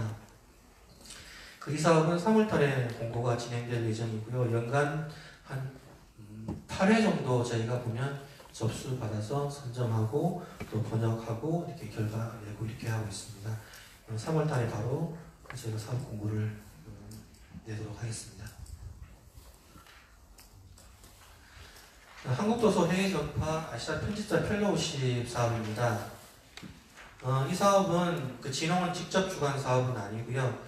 그 대한출판문화협회와 한국출판인회의가 그 사업 주관자로 그 운영되고 있습니다. 어, 출판 저작권 수출 활성화와 교류 지원 사업이라는 명목 하에 그 두 개 사업을 두 개의 그 단체에서 진행하고 있습니다. 그 서울국제 도서관 개최 및 저작권 수출 교류 사업입니다. 어, 이 부분은 그 여기 보여지는 것처럼 뭐 대한출판문화협회에서 예산을 제공받아서 진행하고 있고요. 그 원래는 그 6월 19일부터 23일 사이에 그 코엑스에서 서울국제 도서관이 개최될 예정입니다. 관련된 부분들은 뭐좀 그 추적 쪽에서 아마 공고가 나고 그럴 겁니다. 이 부분은 너무 잘 아시니까 제가 패스하도록 하겠습니다. 어, 해외 도서전은 한국관 운영 사업입니다. 이 사업도 그 대한출판문화협회와 국제문화도시 교류 협의회에서 운영하는 사업인데요. 음, 아시는 것처럼 이 부분은 그 해외 도서전에서 한국관을 설치해서 운영하는 사업입니다. 그 박스에서 보시는 것처럼 그 2월달에 있었던 타이페이제 도서전을 시작으로 해서 3월달 라이프치 쭉쭉 해서 저희가 한 6회 정도 그 추적과 국제문화도시 국제도시 교류협회 문화도시 문화도시 교류협회 이 부분에서 진행을 할 예정이고 앞서 설명드린 것처럼 스웨덴에서 예테버리 도서전은 저희가 주빈국으로 참여할 예정이고요. 이 주빈국 관련해서도 어, 대한출판문화협회에서 주관이 되어서 여러 기관과 단체, 뭐 진흥원, 번역원 같이 이제 운영할 예정입니다. 그리고 비즈매칭 중국 도서전이라고 해서 중국을 중심으로 한 국내 콘텐츠 해외 수출 지원 사업이 그 2회 그 출력 중심으로 개최될 예정입니다. 그 다음은 한국도서 정보 번역 지원 사업입니다.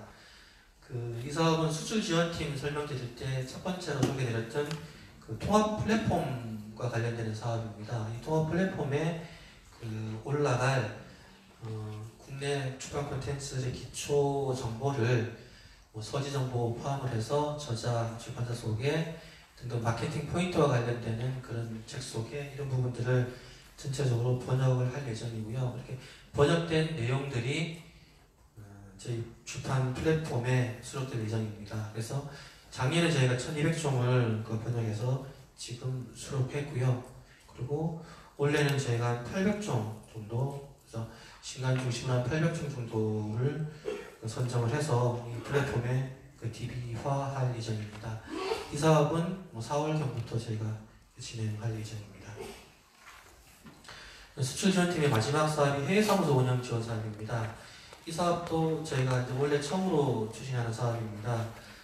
어, 앞서 여- 여러 설명드린 것처럼 해외에서 저희가 뭐 직접 나가서 이렇게 그 참가자들과 같이 수출 지원을 위한 또 신규시장 개척을 위한 사업들을 하고 있는데 뭐 많은 성과와 또 노력들을 하고 있지만 실제로 현지에 가서 현지화된 정보, 현지화된 그런 뭐 네트워크 이런 걸 구축한다고 하면 그런 부분들이 저희 뭐 수출 지원 쪽에 뭐 케이블 공고 쪽에 실질적으로 좀 도움을 될 수 있지 않을까라는 측면에서 저희가 어, 진영원이 처음으로 한번 해외 사무소 운영을 검토하고 있습니다. 그래서 그 원래는 바로 해외 사무소가 운영될 수 있는 상황은 아니고요.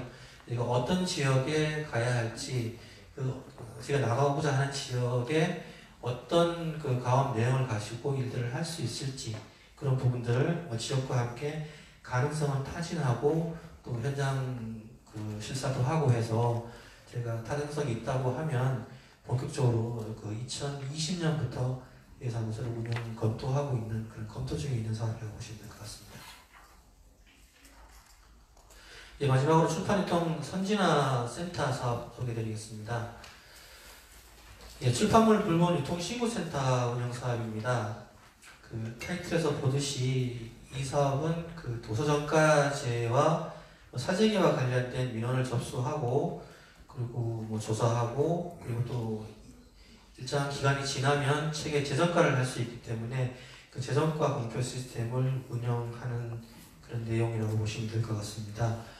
너무 잘 아시는 것처럼 출판유통 심의위원회가 진흥원의 부설기구로 구성되어 있어서 여러 가지 사안들을 점검하고 또 일들을 하고 있고요.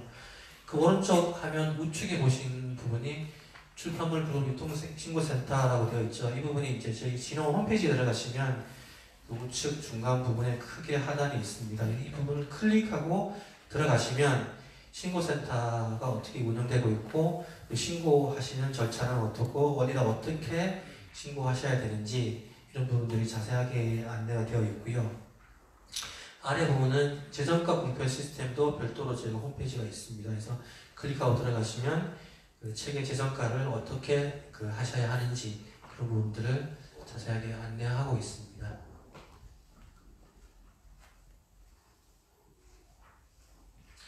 이 다음은 출판유통 통합 시스템 구축과 관련되는 사업입니다.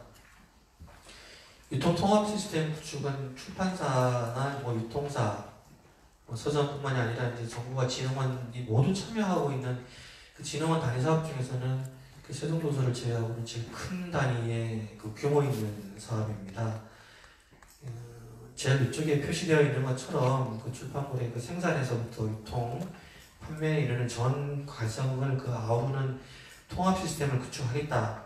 이 통합 시스템을 구축을 해서 유통 과정을 선진화시키고 뭐 출판의 생산과 유통의 뭐 과학적인 접근 이런 부분을 뭐 가능하게 하겠다는 취지로 저희가 지금 그 현재 1월 달부터 실제로 그 수행할 전문 업체가 선정이 되어서 어, 진행이 되고 있고요.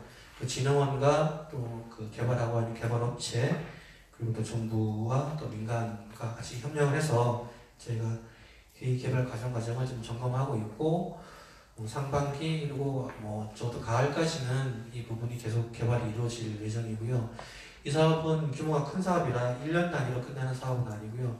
1단계로 구축할 내용들이 보시면 개발 내용에 되어 있는 부분, 뭐 메타데이터를 어떻게 하겠다, 뭐 판매 통계 시스템 어떻게 개발하겠다라는 부분들이 1단계로 지금 개발하려고 하는 내용이고 1단계 개발이 끝나면 바로 이어서 2단계 개발까지 이어지게 됩니다. 그래서 2단계까지 이어지고 나면 아마 본격적으로 그 출판사의 종사 독자 모두에게 도움이 되는 그 통합 시스템을 그 구축해서 운영할 수 있게, 있게 될 예정이고요.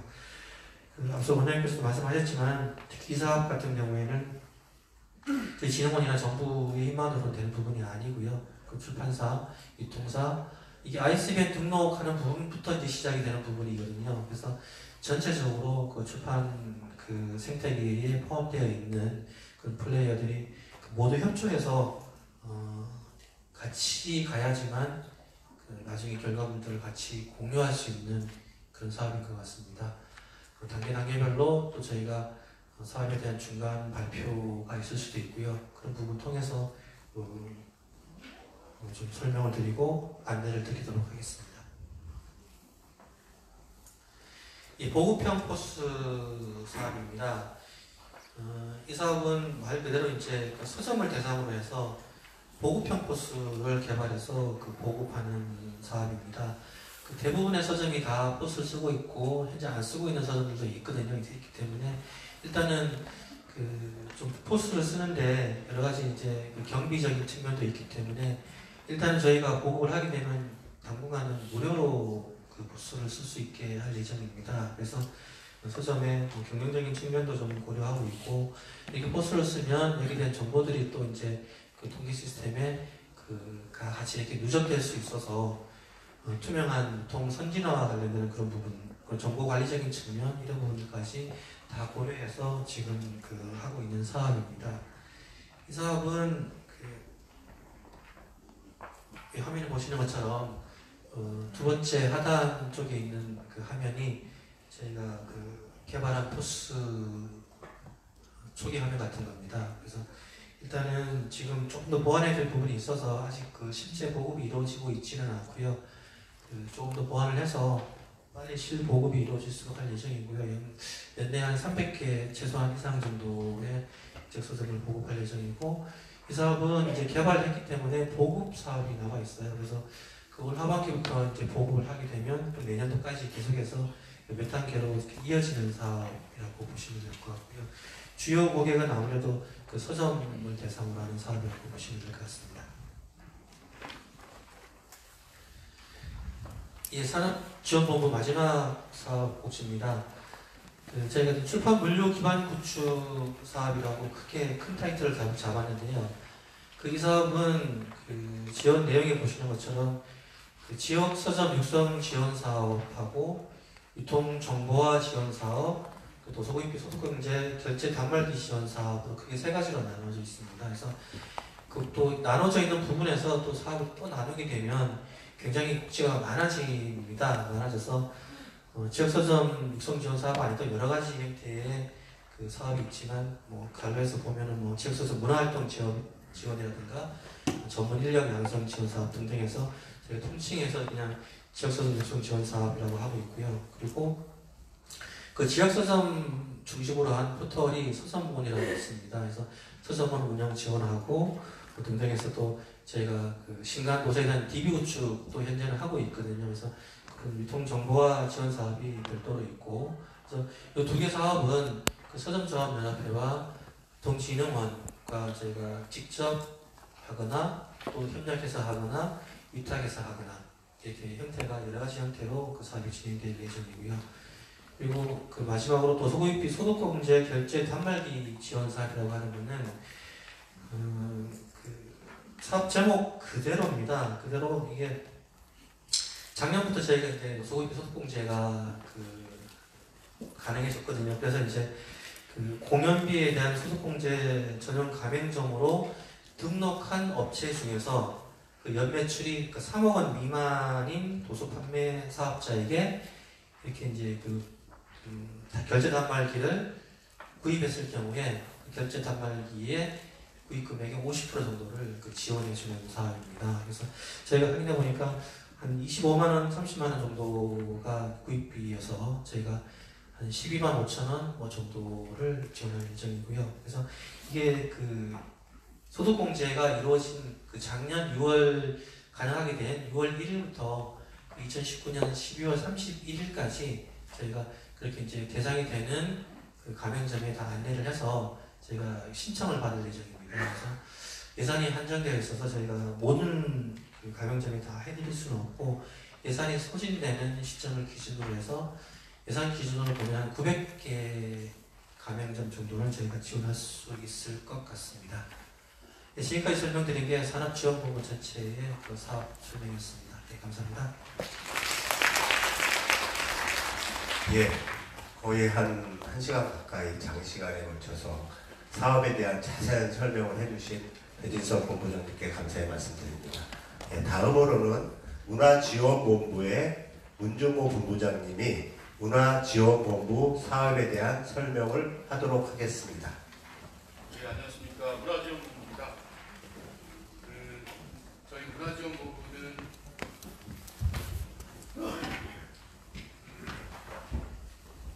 일자리 창출, 그 다음에 뭐 창업 지원, 인력 양성 사업들을 주로 담당하고 있는 출판산업지원센터하고 그 다음에 대구 출판산업지원센터를 운영하고 그 인력 양성 사업, 아, 저 지역 출판산업 육성을 담당하고 있는 지역 출판지원팀 그다음에 인문 사업을 추진하고 있는 인문지원팀 그리고 대한민국 독서 대전 등 국민 독서문화 확산 사업을 담당하고 있는 독서지원팀도 구성되어 있습니다.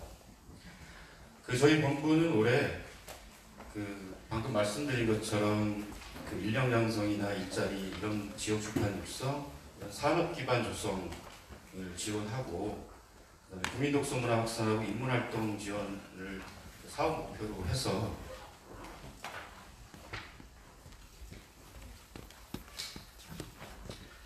아, 38개 주요 사업을 아, 추진합니다. 아, 사업별로 설명드리도록 하겠습니다. 먼저 출판산업지원센터에서 추진하는 사업인데요. 어, 센터에서는 그 출판산업지원센터 운영이라고 하는 사업을 어, 올해도 계속해서 추진합니다. 어, 사업 주요 내용이 어, 출판사 재직자, 예비 창업자분들을 지원 대상으로 해서 어, 경영이나 세부회계, 저작권, 수출 등 8개 분야의 컨설팅을 온오프라인으로 상시 진행하, 진행하 고요. 그다음에 출판 관련 단체 등의 어, 세미나나 발표회, 연구 모임 등의 건당 500만 원에서 1000만 원 범위 내에서 올해도 지원할 계획입니다. 이제 출판 일자리 창출 지원 사업입니다. 어, 청년 내일 채용 공제 위탁 운영 사업이라고 하는데요. 이 사업은 그 청년 구직자의 정규직 취업, 그다음에 장기 근속 촉진, 기업의 인력난 해소를 위해서 어, 추진하는 사업입니다. 지원 대상은 정규직으로 취업한 청년 취업자 300명과 해당 기업입니다. 어, 청년 취업자의 경우에는 가입 유형에 따라서 어, 2년 적립형이 있고요, 3년 적립형이 있는데요. 2년형 같은 경우는 2년 동안 정부 지원금 1,300만 원하고 본인 납- 납입금 300만 원을 포함해서 약 1,600만 원 그리고 이자가 적립되는 구조고요. 3년형은 2년형보다 좀 긴 형태인데 3년 동안 정부 지원금 2,400만 원, 그다음에 본인 납입금 600만 원을 포함해서 약 3천만 원과 그 기간 동안 이자가 적립되는 아, 사업입니다. 그다음에 글로벌 출판 전문력 양성입니다. 글로벌 출판 전문력 양성 사업은 그 세계 출판 패러다임을 이해하고 어, 변화하는 모습을 현장에서 경험하고 학습할 수 있는 기회를 제공하기 위해서 마련된 사업입니다. 그 올해는 출판 경영자 및 재직자를 지원 대상으로 어, 작년처럼 동일하게 진행하고요. 해외 출판 관련 기업의 모범 사례를 벤치마킹해서 우리 것으로 만들어낼 수 있는 역량을 키우는 방향으로 올해 사업을 운영할 계획입니다. 출판식 창업교육센터 운영은 어, 몇년 전부터 저희가 추진하고 있는 사업입니다. 어, 예비 창업자하고 3년 이내 창업 초기 기업 24곳에 입주 공간을 제공하는 사업이고요. 안정적인 경영하고 성장을 지원 목표로 하고 있습니다. 그 입주 기업 24곳에는 그 경영 세무 회계 등의 그 경영 컨설팅을 어, 제공을 하고요. 임대료도 일부 지원합니다. 또 도서 제작이나 마케팅비 일부를 또 홍보 등을 어, 지원하고 있습니다.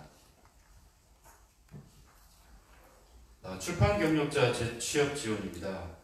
어, 이 사업은 어, 출판계에 종사하셨다가 여러 가지 사정으로 경력이 단절된 근로자하고 또 고용보험 피보험자 수가 20인 이하인 기업을 지원 대상으로 하고 있습니다. 그 근로자에게는 재취업 격려금이라고 해서 최대 6개월간 월 60만 원 지원할 계획이고요. 그 해당 기업에도 채용지원금 최대 6개월간 월 60만 원 지원합니다. 올해는 아, 근로자 60명과 기업 60곳을 지원합니다. 예, 출판 전문인력 양성 사업입니다. 어, 고용보의 컨소시엄 사업으로 운영되고 있는 사업인데요. 그 산업 종사자를 위한 교육은 산업진흥에서 매우 중요한 사항입니다. 그래서 그 올해도 출판산업 종사자를 위한 실무 중심의 맞춤형 무료 교육으로 지원하게 되겠습니다. 올해는 고용보험에 가입되신 출판사 재직자를 위해서 어, 콘텐츠 융복합 사례 분석, 그다음에 글로벌 시대 출판 전문가 양성 등 총 다섯 개 과정을 운영하고요. 또 고용보험이 어, 미적용되는 출판사 대표나 네, 프리랜서 분들을 위해서는 출판 비즈니스 스타트업, 출판의 미래를 잇는 트렌드 분석 등 두개 과정을 운영하게 되겠습니다. 예.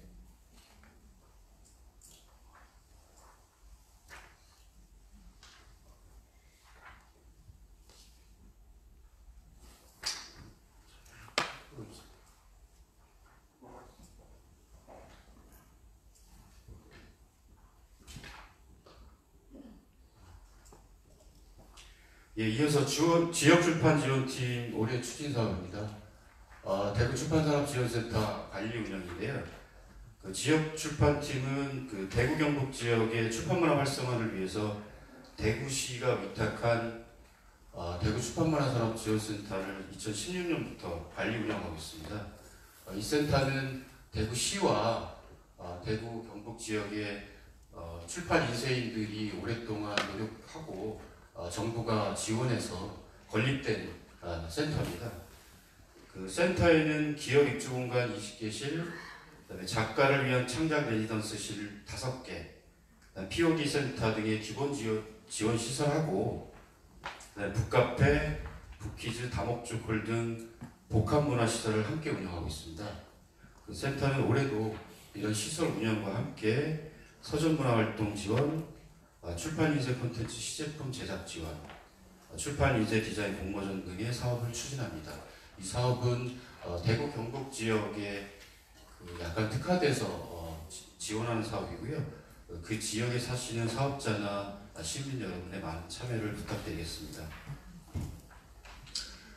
어, 지역 출판 산업 육성 지원입니다. 이 사업은 지역의 출판, 어, 독서 관련 콘텐츠를 발굴하고 그다음에 창작 활성화를 위해서 어, 프로그램 한 10개 정도를 어, 운영하는 비용을 올해 한 지원할 계획이고요. 그 다음에 지역 우수 출판 콘텐츠 제작 지원, 그 다음에 지역 서점 종합 전시관 지원 등을 그 서울 국제 도서 기간 중에 지원할 계획으로 있습니다. 예, 파주 출판 도시 활성화 지원입니다. 어, 파주 출판 도시 활성화 지원은 어, 진흥원이 직접 어, 주관해서 운영하는 사업은 아니고요. 그 파주 출판도시 문화재단하고 그다음에 출판도시 입주기업 협의회가 추진하는 사업인데요. 그 어린이 책잔치나 인문학 강좌, 그다음에 에디터 스쿨, 그다음에 뭐 체험 교실, 운영 이런 내용들을 어, 올해도 사업을 진행을 하고요. 어, 지금 방금 말씀드린 그 파주 출판도시 문화재단하고 입주기업 협의회 어, 홈페이지를 방문하시면 어, 시기별로 진행되는 사업 일정이나 내용들이 자세하게 나와 있습니다. 그 참고해 주시기 바랍니다. 그 파주 출판도시 세계문화 클러스터 조정 사업은 그 출판도시가 갖고 있는 그 다양한 콘텐츠를 통해 문화 복, 아, 복합 문화 도시로서의 이미지를 지속적으로 구축하고 그다음에 출판도시 방문객들에게 양질의 콘텐츠와 서비스, 쾌적한 환경을 제공하기 위해서 어, 출판도시 입주기업 협의회가 주관이 돼가지고 그 선진화 인큐베이터 및 체험관을 운영을 하고요. 방문하시는 분들에게 관련된 정보를 스마트하게 어, 전해드리기 위해서 스마트허브 통합 웹사이트도 구축을 하고 그다음에 이제 파주 book and 영상 엑스포 등의 어, 사업을 올해 어, 추진합니다.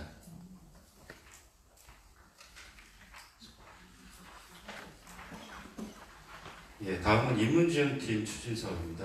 그 저희 진흥원이 인문전담 기관으로 문책으로부터 지정되어서 있는 것과 관련해서 진행되는 사업 중에 하나인데요.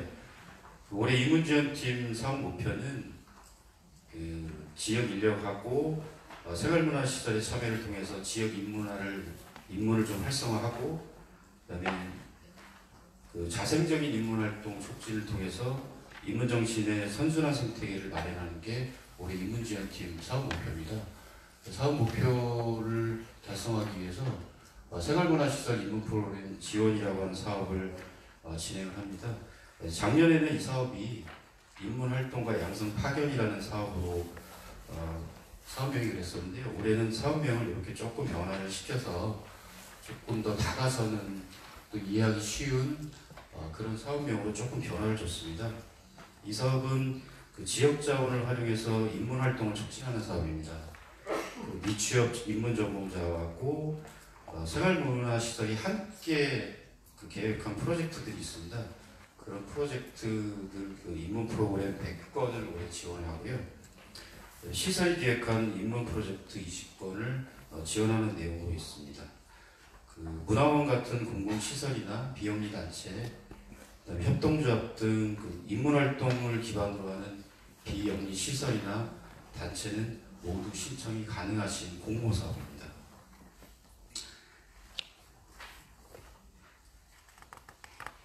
청년 인문활동 지원 사업입니다. 이 사업은 그 청년들의 자유로운 인문활동을 촉진하는 두 개 사업으로 구성되어 있습니다. 335 청년 인문실험 공모전이라고 하는 사업이 있는데요.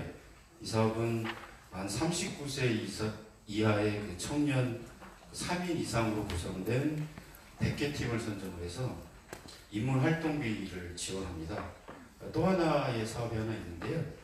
청년 인문 프로젝트 지원 사업이라고 해서 청년 또는 창업 초기 인문문화 단체를 대상으로 해서 인문 프로젝트비 각 500만 원 지원하는 사업입니다. 어, 장- 이 사업 같은 경우는 작년에 이 김장을 만들면서 음식 인문학을 공부해 보는 그 청년팀도 있었고요. 그다음에 군산이라는 지역을 좀 특화해가지고 지역의 무쿠지를 제작해 보는 단체들도 있었습니다. 예, 그 이상으로 그 인문지원팀 사업까지 사업 설명을 그 간략하게 네, 말씀드렸는데요. 이어서 독서지원팀의 그 올해 추진 사업을 그 독서지원팀의 한대성 팀장께서 설명을 하시겠습니다. 그 국민독서문화 확산 그 사업은 저희가 출판산업 육성이라고 하는 사업 이라는 큰 축과 더불어서 어, 대단히 중요한 진흥원의 미션 중에 하나입니다. 그래서 별도로 해서 어, 이 사업을 담당하고 있는 팀장이 직접 설명하도록 하겠습니다. 고맙습니다. 네, 수고하셨습니다.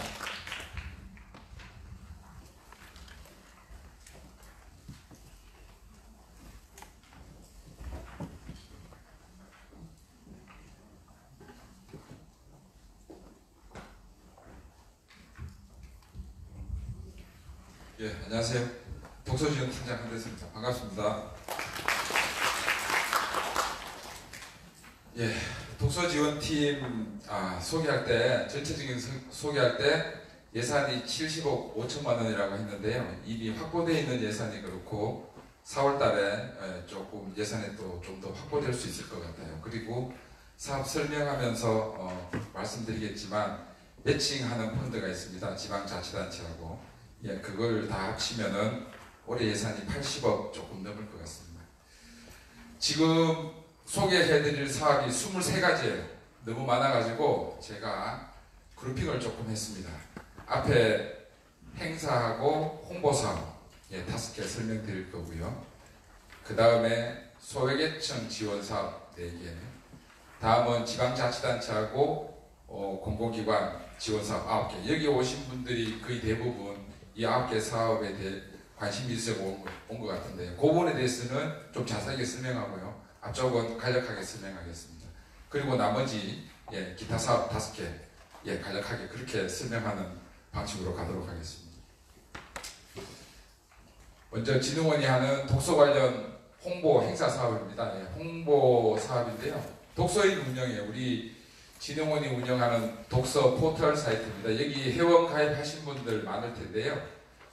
그, 어, 뉴스레터도 발송하고 예, 그 독서 관련되어 있는 매달 그 정보를 제공하여 드리고요. 여기에서 뒤에 설명하겠지만은 인문독서 아카데미, 어, 전국 청소년 독서토론 한마당, 책 읽어주는 문화봉사단 이, 이 사이트에서 예, 접수를 하셔야 됩니다. 예, 여기 보면은 주소가 나와 있어요. 지금 한번 찾아보시면은 어, 몇 가지 사업이 예, 지금 공고가 올라가 있을 겁니다.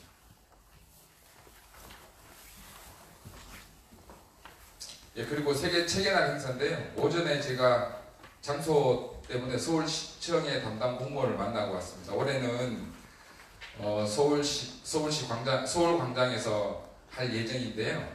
4월 23일이 세계 체계날이잖아요. 예, 그 세계 체계날을 맞아가지고 예, 행사를 하는 겁니다. 어, 예년에는 1박 2일로 많이 이루어졌는데 올해는 평일이고 해가지고 화요일입니다. 평일이고 해서 어, 하루 행사로 할 예정이고 그 행사에 어떤 콘텐츠를 넣을지 시민들에게 공감할 수 있는 그런 콘텐츠 를 개발하기 위해 가지고 예, 자문회의를 개최할 예정이 있습니다. 예, 다음은 언론 매체 활용 책 읽고 홍보 방송인데요. 여기 보면은 책 방송 제작 지원하고 같이 있잖아요. 예. 언론 매체 활용 책 읽기 홍보 요 부분은 본 예산이고요. 어, 뒤에는 체확산 프로젝트라고 해가지고 예산 음, 서로 다른데 하나로 합쳐가지고 올해는 좀, 어, 좀 크게 이게 방송으로 하는 겁니다. 지금 공중파 3사하고 어, 종편 몇 곳에서 지금 컨셉을 몇 개 받았습니다. 받아가지고 그걸 좀 정리해서 방송사를 선정하고 협의를 거쳐가지고 프로그램을 좀 다듬어가지고 어, 진행할 예정인데 기본적인 컨셉은 젊은 친구들이 책을 좀 안 읽으니까 이 프로그램을 젊은 층에 맞춰가지고 예, 그 쇼능 예, 예능하고 쇼하고 합친 예, 그런 프로그램을 구상하고 있고 9월 독서의 달에 맞춰가지고 어, 8회, 10회 예, 그 정도 해가지고 연속으로 진행할 예정이 있습니다. 예, 독서문화 캠페인이라고 해서 우리가 이제 연중으로 하는 건데요. 독서문화 캠페인의 이제 주된 것은 어, 독서의 달 포스터 제작 배포입니다. 요거 9월달에 독서의 달이잖아요. 어, 독서의 달 포스터를 만들어서 전국에 있는 공공도서관에 예, 배포하는 사업입니다. 예, 북튜버 지원인데요. 이건 이제 공모 사업이에요. 이것도 이제 홍보에 넣었는데요.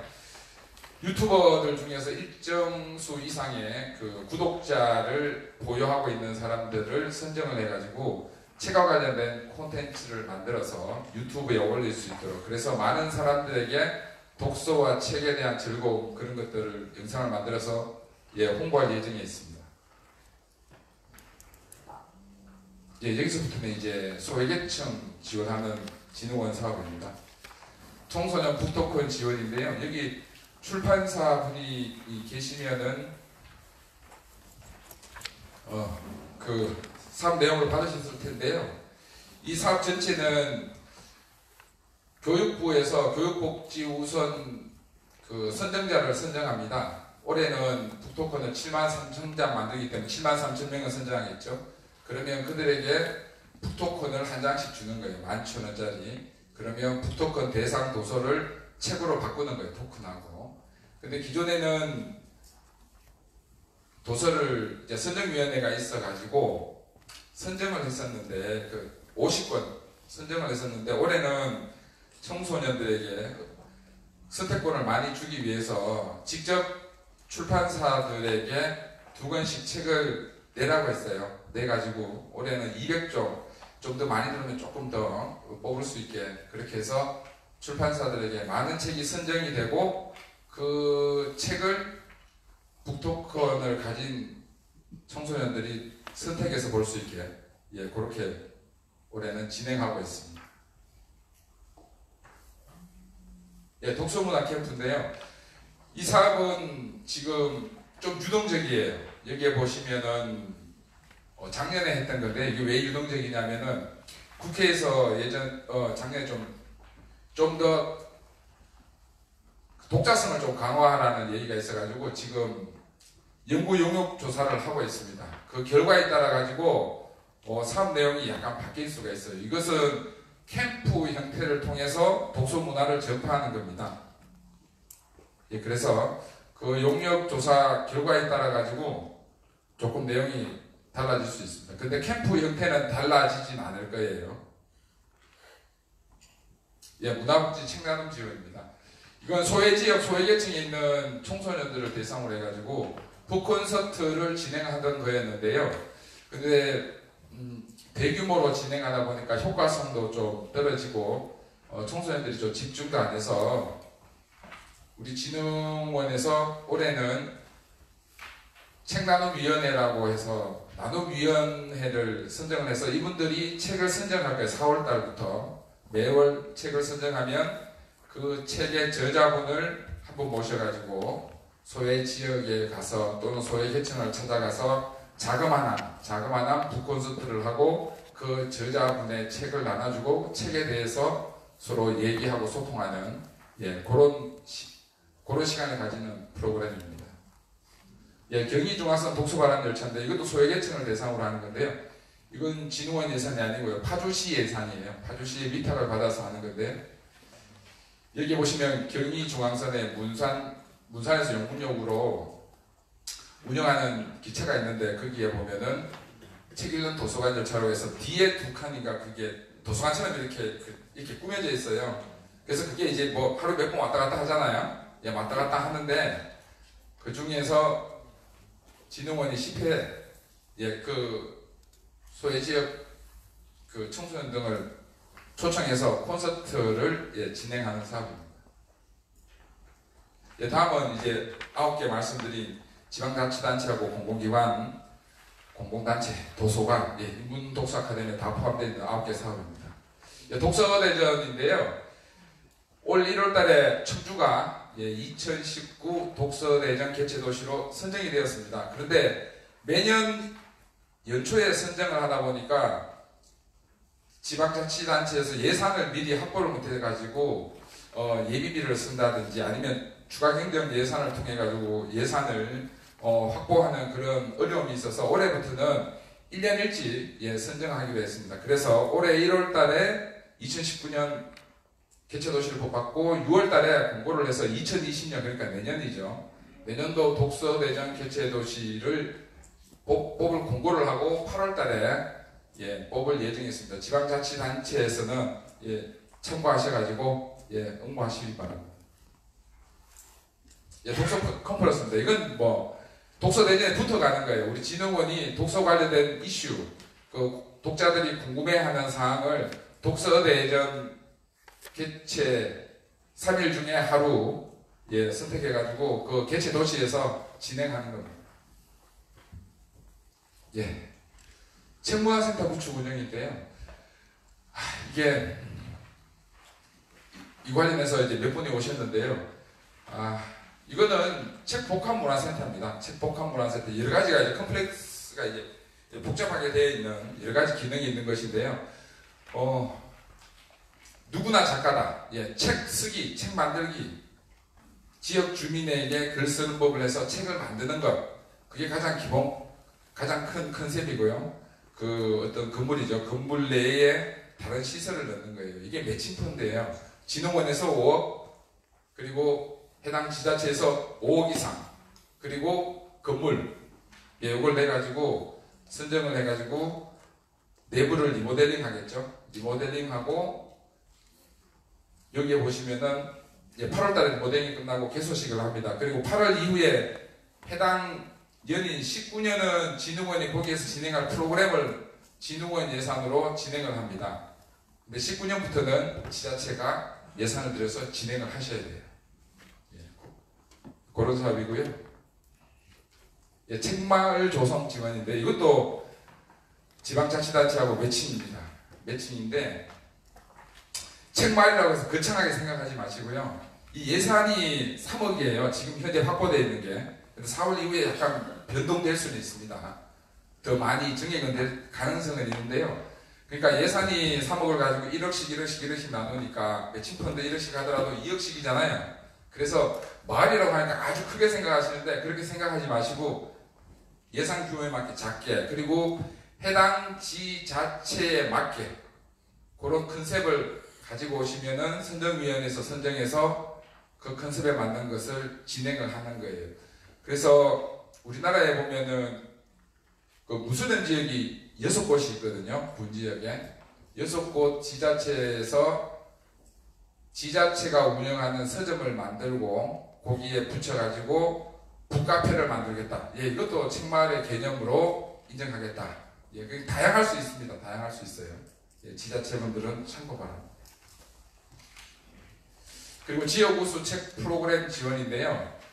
어, 이것도 이제 보면 지자체입니다. 지자체 그리고 민간 단체도 들어가요. 그러니까 책 프로그램이잖아요. 쉽게 생각해서 도서전, 지역 도서전입니다. 도서전, 독서전, 지역에서 하는 거. 어떤 단체가 지역에서 하는 독서전, 도서전. 그리고 지자체가 하는 자체적으로 하는 도서전, 독서전에 우리가 금액을 세 곳을 선정할 예정이에요. 세 곳을 선정해서 3,200만 원씩 예, 지원할 예정이고요. 어, 그런데 다섯 개 그 독서대전 기개최지 5개 어, 지자체가 있는데 이 지자체는 제외입니다. 왜냐하면 이미 우리가 지원을 하고 있기 때문에 예, 금액이 정해져 있기 때문에 요, 그 지자체는 제외예요. 합- 합치면 이중 수혜가 되기 때문에 예, 그 다섯 개 지자체를 제외한 겁니다. 예, 책 제형 버스인데요. 우리가 진흥원이 작은 그 25인승 그 버스를 개조해가지고 안에 그러니까 쉽게 생각하면 예전에 이동식 도서관 이렇게 생각하시면 되는데 예전에는 종이책이 많이 들어갔잖아요. 근데 어, 이 버스에는 어, 전자책하고 오디오북하고 신성장 동력 이거 체험할 수 있는 거 그리고 종이책 공간 약간 그리고 좀 전에 얘기한 무서전 지역 있잖아요. 거기 있기 때문에 그 서점 역할을 할 수 있는 그 설비까지 해가지고 전국에 어, 다 돌아다닐 겁니다. 그 서점은 우리가 이제 장사를 할 수 없기 때문에 서점 조합 연합회가 좀 도와주기로 했어요. 그래서 신청을 하라고 제가 우리 진흥원에서 어, 이것도 공부할 거예요. 그러니까 무슨 신청이냐면 와달라는 거죠. 도서전이나 독서전에 있는데 와달라고 하면 날짜 조정해가지고 날짜가 맞으면은 예, 전국에 있는 도서전, 독서전 이런 데 다 가가지고 예, 세워, 세워놓고 시민들이나 시민들이 이용할 수 있게 할 예정이 있습니다. 예, 이 책도요. 이게 어, 작년 작년에 작년 하반기에 29개 시, 군구 지방 자치단체에서 이 책도협을 발기대를 했거든요. 예, 이쪽에 지원해 주는 금액이 있습니다. 예, 그 프로그램 진행하고 할 거예요. 예, 그리고 책 읽어주는 문화 봉사단인데요. 요건 물론 소외 계층, 소외 지역 그, 어, 을 위한 사업도 볼 수 있지만 여기 보면은 지원 대상이 전국 기초 지자체 또는 민간 비영리 재단이라고 돼 있어가지고 그냥 어, 기초 지자체 지원 사업에 넣었습니다. 이게 뭐냐 하면은 조금 자세하게 설명해 드릴게요. 이건 이미 공고가 되어 있으니까 지자체나 어, 비영리 재단이 해당 지역 있잖아요. 해당 지자체에서 문화봉사단을 꾸리는 거예요. 20명. 그리고 그분들을 교육을 시켜서 그 지역 내에 20개 시설에 가가지고 책과 관련된 재미난 활동을 하는 겁니다. 예, 하는 거고, 예, 10개 선정할 것이고요. 한, 한 곳당 2,500만 원 우리가 지원해 줄 거예요. 지금 공고가 났기 때문에 지금 모집을 받고 있습니다. 11일까지, 3월 11일까지 예, 진행될 그 접수할 거예요. 예, 그리고 일 때문에 많이 오셨죠? 예, 인문동사 아카데미. 예, 그 여기 보시면 공공도 수호관, 문화원, 서원, 문화재단, 뭐 문화복지재단도 괜찮고요. 시설이면 돼요. 어떤 공익적 목적을 가진 시설이면 되고요. 개인은 안 됩니다. 어, 그리고 영리 목적의 어떤 그 단체도 안 돼요. 비영리 목적의 어, 비영리 목적이어야 하고요. 어, 작년과 달리 올해는 다섯 개가 더 늘어났어요. 85개. 그러니까 인문학 강의를 진행하는 거예요. 그 지역에 거주하는 그 주민들을 위해 가지고요. 15번의 15번의 교육을 진행하는데요. 15회 하는데 이제 한 번 할 때는 2시간 이상씩 하고요. 우리 진흥원에서 지원해 주는 것이 이제 교재 제작비 180만 원, 홍보 지원비 36만 원, 강사료 지원 50만 원 곱하기 15에서 750만 원 합니다. 이 프로그램은 수행기관 그러니까 하고자 하는 이 강의를 진행하고자 하는 곳에서 직접 짜셔야 돼요. 이것도 독서인에서 접수를 받고 있는데요. 지금 14일까지니까 지금 뭐 들어가시면은 예, 접수를 할 수 있습니다. 프로그램을 짜셔가지고 올리시면은 심사위원들이 보시고 예그 우수하다고 생각되는 프로그램을 선정해서 진행을 하는 겁니다.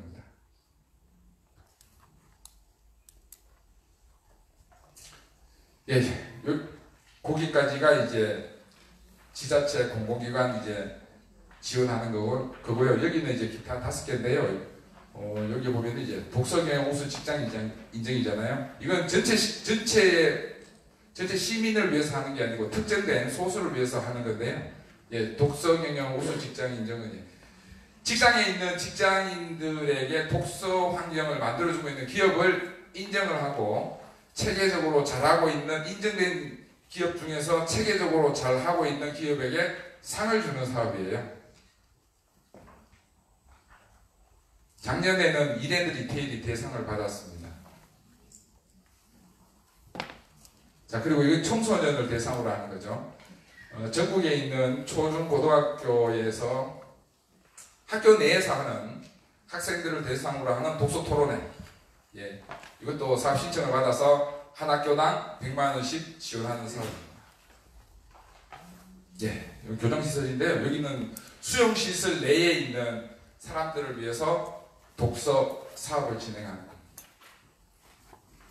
예, 심야책방 운영인데요. 이건 작년 체계 사업에서 어, 시민들에게 많은 호응을 얻어서 올해까지 넘어오게 됐는데요. 전국에 있는 서점, 예, 여기 140개 되어 있는데, 음, 상반기 70개, 하반기 70개, 예, 그렇게 140개가 되겠죠. 거기서 이제 매, 매주 마지막 주 금요일 날 서점에서 폐점하는 시간을 연장하는 거죠. 연장하면서 거기서 문화 활동을 하는 거예요. 뭐 저자 강연회도 좋고, 뭐 책과 관련된 어떤 뭐 강연도 좋고, 뭐 동아리 활동도 좋고, 예, 그런 것을 진행하는 사업입니다. 예, 그리고 마지막인데요. 예, 이 와우 페스티벌을 홍대에서 하잖아요. 10월 달에 하는 건데, 거기 우리가 이제 지원금을 준다는 겁니다. 예, 이상입니다. 감사합니다. 예, 장시간 설명해 주신 한대석 팀장님 감사드립니다. 아, 지금 한 2시간 정도 시간이 지났습니다. 저도 이렇게 보면서 야, 진영원이 올해 예산 403억인데 정말 다양한 일들을 하고 있구나 이런 생각이 들었습니다. 이제 다음으로는 그 오늘 설명을 들으시면서 정말 내가 이 부분은 꼭 질의를 하고 싶다라고 하는 사업이 있으시면 질의를 하실 수 있는 질의응답 시간이십니다. 일단 질의를 하실 분은 손을 들어주시면 저희가 마이크를 갖다 드릴 거고요. 일단 소속하고 성명 그리고 관심 있는 사업명을 말씀해 주시면서 저희한테 질의를 해주시면 저희가 담당 본부장이나 팀장이 설명을 하도록 하겠습니다. 예, 혹시 질의를 하실 분 손 좀 들어주실 수 있겠습니까?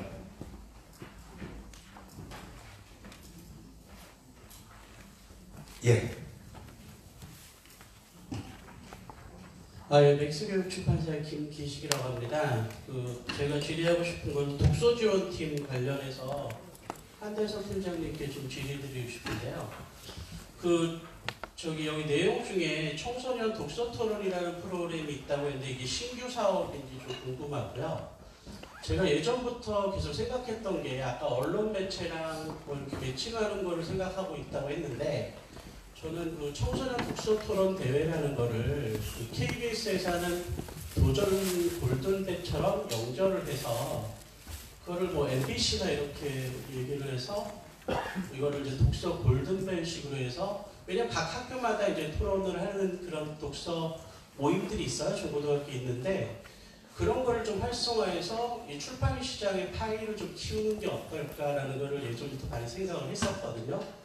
그렇다면 이거를 단순히 그뭐한 학교에 100만 원씩 지원하는 것과 함께 방송사랑 연결을 해가지고 그거를 이제 책을 아이들이 좀 관심 있게 읽고 그 책을 토론을 통해서 나의 생각이 좀 다른 것들을 또 이제 접할 수 있는 기회를 만들었으면 좋겠다라는 생각이 들고요. 또 하나는 예전부터 또 계속 고민했던 게 이게 지금 진흥원에서 해야 될 일인지 교육부에서 해야 될 일인지 잘 모르겠지만 초중고의 독서 수업 시간을 확보해야 되는 게 되게 중요하다고 판단합니다. 이거는 출판 시장 확대를 위해서도 대단히 중요한 그 정책적인 부분이라고 생각을 하거든요. 그래서 뭐 국영수에서 뭐 어떤 과목을 한 시간을 빼더라도 주간 독서 수업을 할 수 있는 시수를 최소한 초중고에서 한 시간 정도 확보해내는 것이 정책적으로 좀 진행이 됐으면 하는 그 바람으로 그 질문을 드립니다. 이상입니다. 예, 김 교수님 감사합니다. 예, 여기서 말씀드려도 되죠? 예, 청소년 독서토론 한마당에 대해서 먼저 말씀을 드릴게요. 두 가지 질문해 주셨는데 청소년 독서토론 한마당은 예전에 EBS하고 예, 공개적으로 해서 진행된 적이 있습니다. 예, 공개적으로 해가지고 진행이 됐는데 이제 애들이 이제 다 모여서 몇 박 며칠 뭐 자고 이렇게 하면서 했죠. 근데 그 효과가 그 일종의 이벤트 한 번 하고 그냥 끝나는 예, 그 효과가 별로 없다는 얘기가 있어가지고 방법을 바꿔가지고 이처럼 진행을 하게 됐고 방법을 바꾸는 데 있어가지고 교육부 그리고 17개 시도의 장학관, 장학사 분들하고 진흥원, 문화부 이렇게 토의를 해가지고 이런 방식을 만들었어요. 그리고 또 하나는 그 대회 골든벨처럼 뭐 하는 게 어떻게 하느냐. 일단 이 컨셉은 기본적으로 경쟁식 토론 대회는 안 됩니다. 그래서 누가 잘하고 누가 못하는 게 아니고 누구나 토론을 하면서 자기 생각을 자유롭게 얘기할 수 있고 그 생각이 맞다 틀렸다가 아니고 내 생각, 네 생각은 그렇구나 내 생각은 이래 서로 간에 의사소통하는 것이 우선입니다. 예, 그래서 이 방식으로 진행을 하게 되었고요. 그리고 이제 교육부 독서 시간 뭐 말씀하셨잖아요.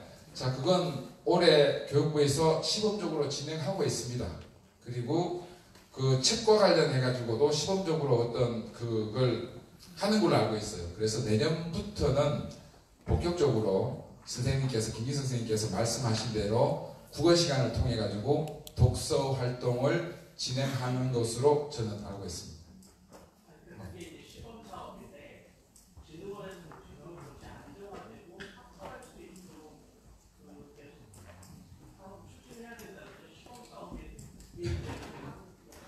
예, 예. 그건 지금 교육부에서 대한출판문화협회하고 진행하고 있는 걸로 알고 있습니다. 예. 진흥원하고 안 하고요. 뭐, 이 정도면 됐습니까? 예. 일단 뭐 진흥원에서 그 교육부의 그 독서 관련된 시수를 좀 계속적으로 확보를 해달라는 말씀인데요. 그거는 뭐 저희가 그 신경을 안 쓰는 게 아니라 저희들도 지속적으로 그 부분에 대해서는 좀씩 신경 써가면서 노력하도록 하겠습니다. 예, 다음 질문 있으신 분 손들어 주시기 바랍니다.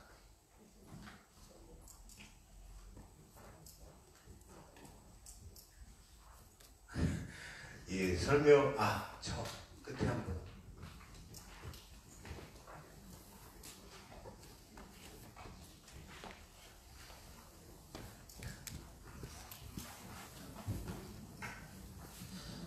미래의 출판사의 김보경 과장이라고 합니다. 그 저는 궁금한 게 그 오디오 산업 기반 확충 사업 관련해서 여쭤보고 싶은 게 있는데요. 그 이 내용 보면 그 오디오북 제작 지원 센터를 운영을 해서 음향 녹음부터 편집까지 원스톱 제작 인프라 지원이 가능한 사업을 만들겠다고 하시는데 궁금한 게 그 오디오북을 제작하는 데 들어가는 가장 큰 비용이 녹음실에서 녹음하고 이런 인프라가 없는 것인지 아니면 실제로 한 권을 제작할 때 들어가는 성우 섭외 비용하고 그걸 이제 전자책으로 만드는 비용이 큰 것인지 확인을 저는 안 해봐서 정확히 잘 모르겠습니다만 파악을 하셨는지 궁금하고요. 그리고 그냥 제 상식적으로는 녹음실 대여 비용보다 그 성우가 책을 읽도록 만드는 그 섭외 비용이 커서 제작을 잘 못할 것 같다는 생각이 드는데 그렇다면 이런 녹음실 전국에 두 곳 확충을 하는 것이 실제 출판사들이 오디오북을 제작하는 데 있어서 얼마나 큰 수요가 늘 것이라고 기대하시는지 궁금합니다. 배진석 고모장님. 예, 간단하게 설명드리겠습니다. 이제 말씀하신 것처럼 그 오디오북도 마찬가지지만 이제 그 기본적으로 들어가는 비용이라는 측면들은 저희가 충분히 고려하고 검토했고요.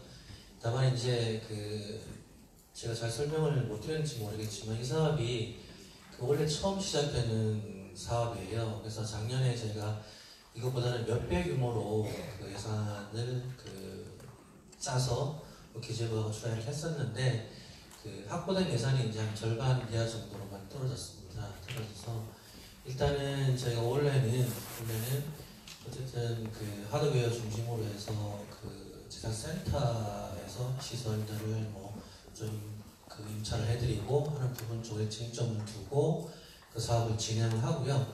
이 사업의 성과를 가지고 저희가 이제 말씀하신 것처럼 뭐 직접적인 그 오디오북 제작에 들어가는 제작 비용, 그리고 뭐 이런 부분들을 그 직접 지원 비용들을 늘려나갈 생각이에요. 그래서 그 원래는 이제 시작 단계이니까 저희가 충분하게 지원하지 못하더라도 일단은 그 시설적인 측면에서 좀 시작을 하고 그 단계별로 이 부분은 뭐 원래 단년도 사업이 아니니까 어, 조금만 더 기다려 주시면 저희가 그 구체부 지원하고 협력을 해서 충분히 지금 말씀하신 부분들까지 그 커버를 할 수 있도록 노력하겠습니다. 예, 충분한 답변이 되셨나요?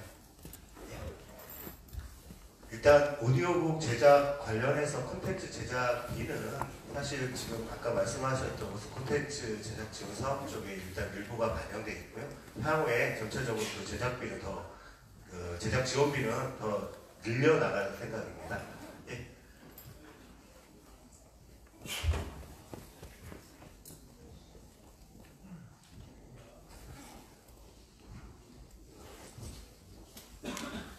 아, 예, 에, 설명 에, 지금 수고 많으셨습니다.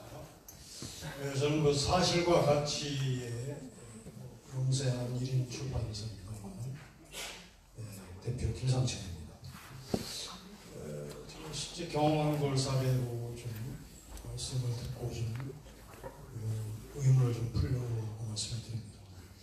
제가 그 에, 이제 출판사를 이제 어렵게 차려가지고 초 책을 냈을 때그 감격이라는 걸 아마 여기 계신 분들이 아마 어느 정도 다 공감하실 부분이라 생각합니다. 어, 저도 이제 그 사실 주변의 그 어, 어떤 지원과 격려와 성원에 의해서 어, 빼말고 음, 상당히 어려운 여건 하에서 첫 책을 출판하게 됐을 때 예, 기쁨이 있었습니다만. 어, 그래도 다행히 그 시장의 평가라든지 이런 것이 괜찮아서 어, 대표적으로 말씀드리면 이 교보문고에서 선정하는 2018년 그 상반기 어, 최우수 교양 도서에 선정이 됐습니다. 그 당시 보건대는 그, 어, 한 대한민국 지식인 50명과 출판 전문인 100인이 선정한 걸로 되어 있더라고요. 어지만 저는 뭐 첫책 출판으로 상당히 그, 그 약간 흥분했다고 할까요? 어, 그런 상황이었어요. 그래가지고 마침 뭐 열악한 출판 생태계 현실에서 어, 이 어떤 그 어려운 여건에서 이렇게 출판 비용을 담당하는 것을 어떻게 만회할 수 있을까라는 고민이 있었겠죠. 그래서 우연히 그 세종도서 사업을 알게 되고 지원을 했는데 뭐 여지없이 무너지고 말았습니다. 제가 이제 말씀을 드리려고 하는 것은 과연 지금 이런 그 출판인들이 가장 민감하게 생각해야 되는 부분 중 하나일 텐데 이런 그 도서 선정 어, 과정이 과연 어떻게 구체적으로 이루어지는지 그 선정 과정의 타당성이라든지 투명성에 대해서 어, 조금 솔직히 의문이 들어서 말씀을 드립니다. 네, 고맙습니다. 예. 이것도 역시 배진석 본부장님이 말씀하셔야 될 부분인가요? 예.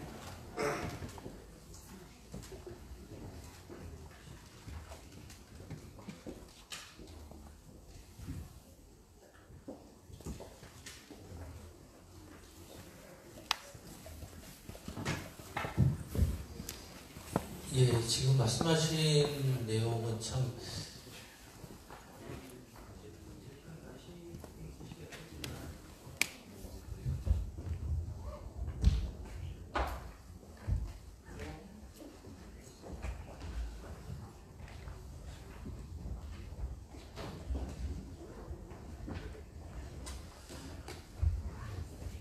예, 제가 관심 있는 사안이긴 하지만 답변하기도 굉장히 어려운 사안이에요. 그래서 진흥원 사업은 뭐 책에 대한 선정뿐만이 아니라 뭐 여러 가지 대부분의 사업들이 공모 사업이라서 그 공모 절차 그리고 이제 그 공모에 대한 그 심사 이런 부분들은 굉장히 관심을 가지고 좀 조심스럽게 최대한 공정하게 진행하고 있습니다. 있고 뭐 특히 이제 제일 큰 사업이 세종도서 사업이긴 한데 세종도서 같은 경우는 우리가 크게 이제 교양, 뭐 학술 이렇게 그네 분류로 나누긴 하지만 그 또 교양이라고 하는 부분, 또 학술이라고 하는 부분이 들어가면 그 세 분류가 굉장히 많이 나누어지잖아요. 우리가 뭐 10층 분류만 해도 10개인데 거기 안에 또 세 분류까지 들어가면 사실은 학문의 분야별로 굉장히 많은 형태로 나누어지게 됩니다. 그래서 처음 시작할 때부터 그 고민은 뭐 일관되게 있었던 고민이고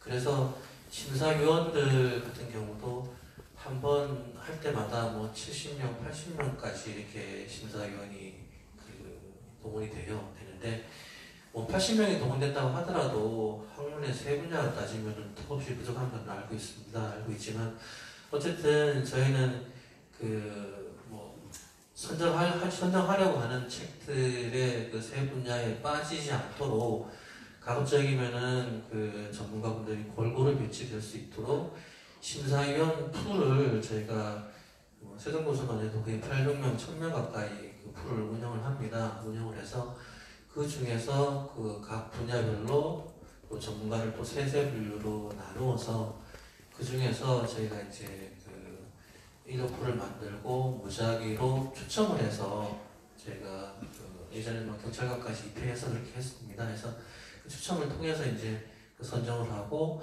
추천된 분들의 우선순위에 따라서 저희가 섭외를 하고 또 1순위가 안 되면 2순위 이런 식으로 저희가 그 하고 있습니다. 그래서 각종 뭐 공모사업 포함해서 선정사업, 해성도서 포함해서 다른 사업도 마찬가지입니다. 마찬가지로 저희가 내부에 또 감사실이 별도로 있어서 그 감사실을 통해서 저희가 그 후보자 추천이나 아니면 뭐 이런 부분도 다 받고 있기 때문에 실제로 이제 수혜를 받으시는 입장에서는 제가 아무리 뭐 자세히 잘 설명해도 좀 그 직접 선정이 되지 않게 되면 조금 어려운 부분들이 있을 수 있다고 생각을 합니다. 그렇지만 저희 입장에서는 각종 절차와 제도 그리고 인력 풀이라든가 이런 부분까지 다 감안해서 감안해서 선정 심사 사업을 또 하고 있기 때문에 어, 최대한 저희가 공정하게 또 원래는 더 말씀하신 대로 신경 써서 그 세 분야별로 인력풀을 더 확충을 하고 해서 그 누락되거나 빠지거나 혹은 뭐 공정성이 훼손되는 그런 부분이 없도록 원장님이 최대한 노력하겠습니다. 지금 그 자리에 지금 말씀드리는 거는 좀 더 노력하겠다는 말씀 외에 뭐 딱히 100% 만족하시는 답은 안 되실 것 같지만 그 정도로 답변 드리겠습니다. 그래서 추가 질문을 좀 드려도 되겠습니까? 예, 말씀하십시오.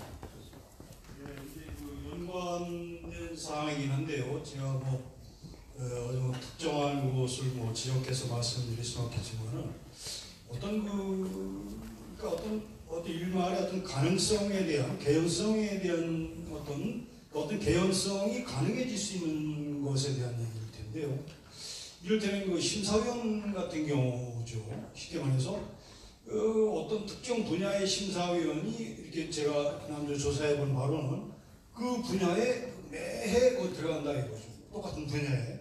그랬을 때는 이 대한민국이라고 하는 그, 어, 그 어, 어떤 한국적 인간관계라든지 정실관계라든지 이런 대한민국의 그 어떤 정서적인 문맥이 강한 나라의 현실 속에서 이게 어떤 그 투명성을 제고시킨다 하더라도 그 자체가 갖고 있는 그 어떤 코드의 문맥이 그 심사위원이 고정돼 있을 때는 그 상당히 그 한계가 있, 있을 수 있다는 거죠. 저도 인간인데 어떤 그런 문맥에서 이렇게 쉽게 말해서 이렇게 그 풀이라고 하는 것도 심사위원도 풀제로 해서 이렇게 그 로테이션을 한다든지 어떤 또 외부 심사를 더 강화한다든지 어떤 다양한 그 변화를 줘서 심사의 그 다원성을 어, 확보하는 것이 어, 이것을 방지할 수 있는 어떤 대안이 될 수 있지 않을까 이런 생각을 좀 해보게 됩니다. 왜냐하면 심사위원이 보면 매배 똑같은 사람이 그 박혀 있더라고요. 그것은 어떤 사람이라는 것이 저도 어떤 특정 분야에 관심이 많은 사람이기 때문에 누구나 그렇듯이 그래서 그런 분야에 대해서 아무래도 이 사람이 갖고 있는 어떤 그 어떤 이성의 어떤 판단에 또 역시 한계가 있는 것처럼 그런 문제가 개연 발생할 수 있는 개연성 소지가 그런 데서 있을 수 있지 않을까 이런 생각을 해보게 됩니다. 어, 죄송합니다. 네, 이 부분은 짧게 말씀드리겠습니다. 이제 그 대한민국 내에서 선정되는 묵수도서가 대표적으로 이제 학술원 학술도서고 또 진흥원 세종도서입니다. 그래서 제가 알기로는 학술원은 학술원 회원들 분이 이제 심사위원으로 들어가셔서 저희보다는 조금 중복성의 문제가 더 있으신 걸로 제가 그 조심스럽게 알고 있고요.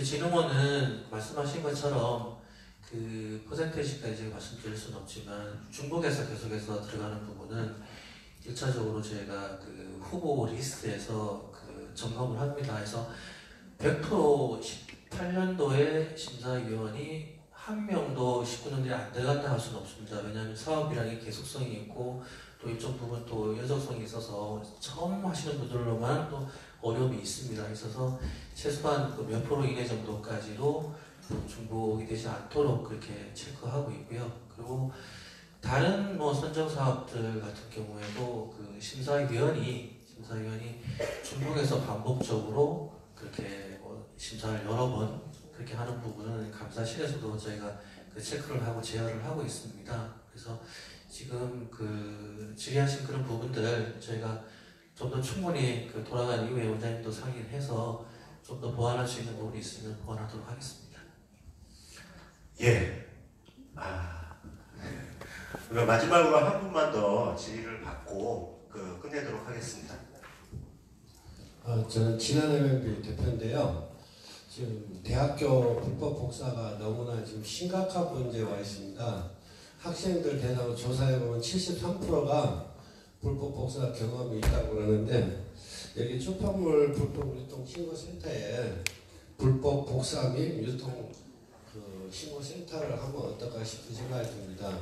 지금 저작권 보호하고 우리가 문광부하고 회의를 수도 없이 많이 하고 국회에 가가지고 저작권에 대한 문제, 지금 영화나 다른 게임 문제 때문에 강화하고 있는데 거기에 출판이 배제돼 가지고 가는 것 때문에 지금 심각한 문제 있고 내일 또 저작권 문제 때문에 국회가 공청회도 하고 지금 여러 가지 많이 애를 쓰고 있는데 정작 출판문화산 진흥원에서 불법 복사를 배제하고 유통만 좀 신경을 쓴다는 건 문제가 있는 것 같습니다. 여기다가 불법 복사에 대한 거 하나만 더 넣었으면 어떨까 싶어서 질문 드립니다. 예, 간단하게 제가 말씀드리겠습니다. 그 말씀하신 내용 정말 맞는 말씀이시고요. 그래서 저희가 그안 그래도 그 원장님처럼 오시고 나서 가장 원래 이제 연초에 핵심적으로 좀 관심을 기울이시는 부분이 그 부분이에요. 그래서 저희도 저작권 보호하고 또 작년 연말에 MOU를 맺었고 그리고 나서 올 초에 지금 이제 3월 초에 학기가 시작되잖아요. 그래서 지금 당장 3월 첫째 주부터 해서 저희가 학술하고 과학기술협회하고 같이 해서 저희가 한 2천만 원 정도의 예산으로 서로 이제 작업단까지 포함해서 2천만 원 됩니다. 2천만 원으로 그 대학과 주변 전국 한 20개 대학 중심으로 캠페인도 하고 또 대학 내에 이제 문화가 바뀌어야 되는 부분이 많으니까 저희가 그 교수 신문이라든가 이런 쪽에 그 지금 그 캠페인 그 블록 복제가 굉장히 좀 그 범람하고 힘들다 그렇게 하면 안 된다는 그런 내용으로 저희가 캠페인 광고로 기재하려고 하고 있습니다. 그래서 지금 이제 단발적으로 저희가 그렇게 하고 있고요. 그리고 지금 말씀하신 그 내용 그대로 저희 이제 그 이사님들 중에서도 그런 말씀 해 주신 분이 있고 해서 저희가 일본 또 신고센터 업무는 도정제와 사재기와 관련되는 그런 지역 조사예요.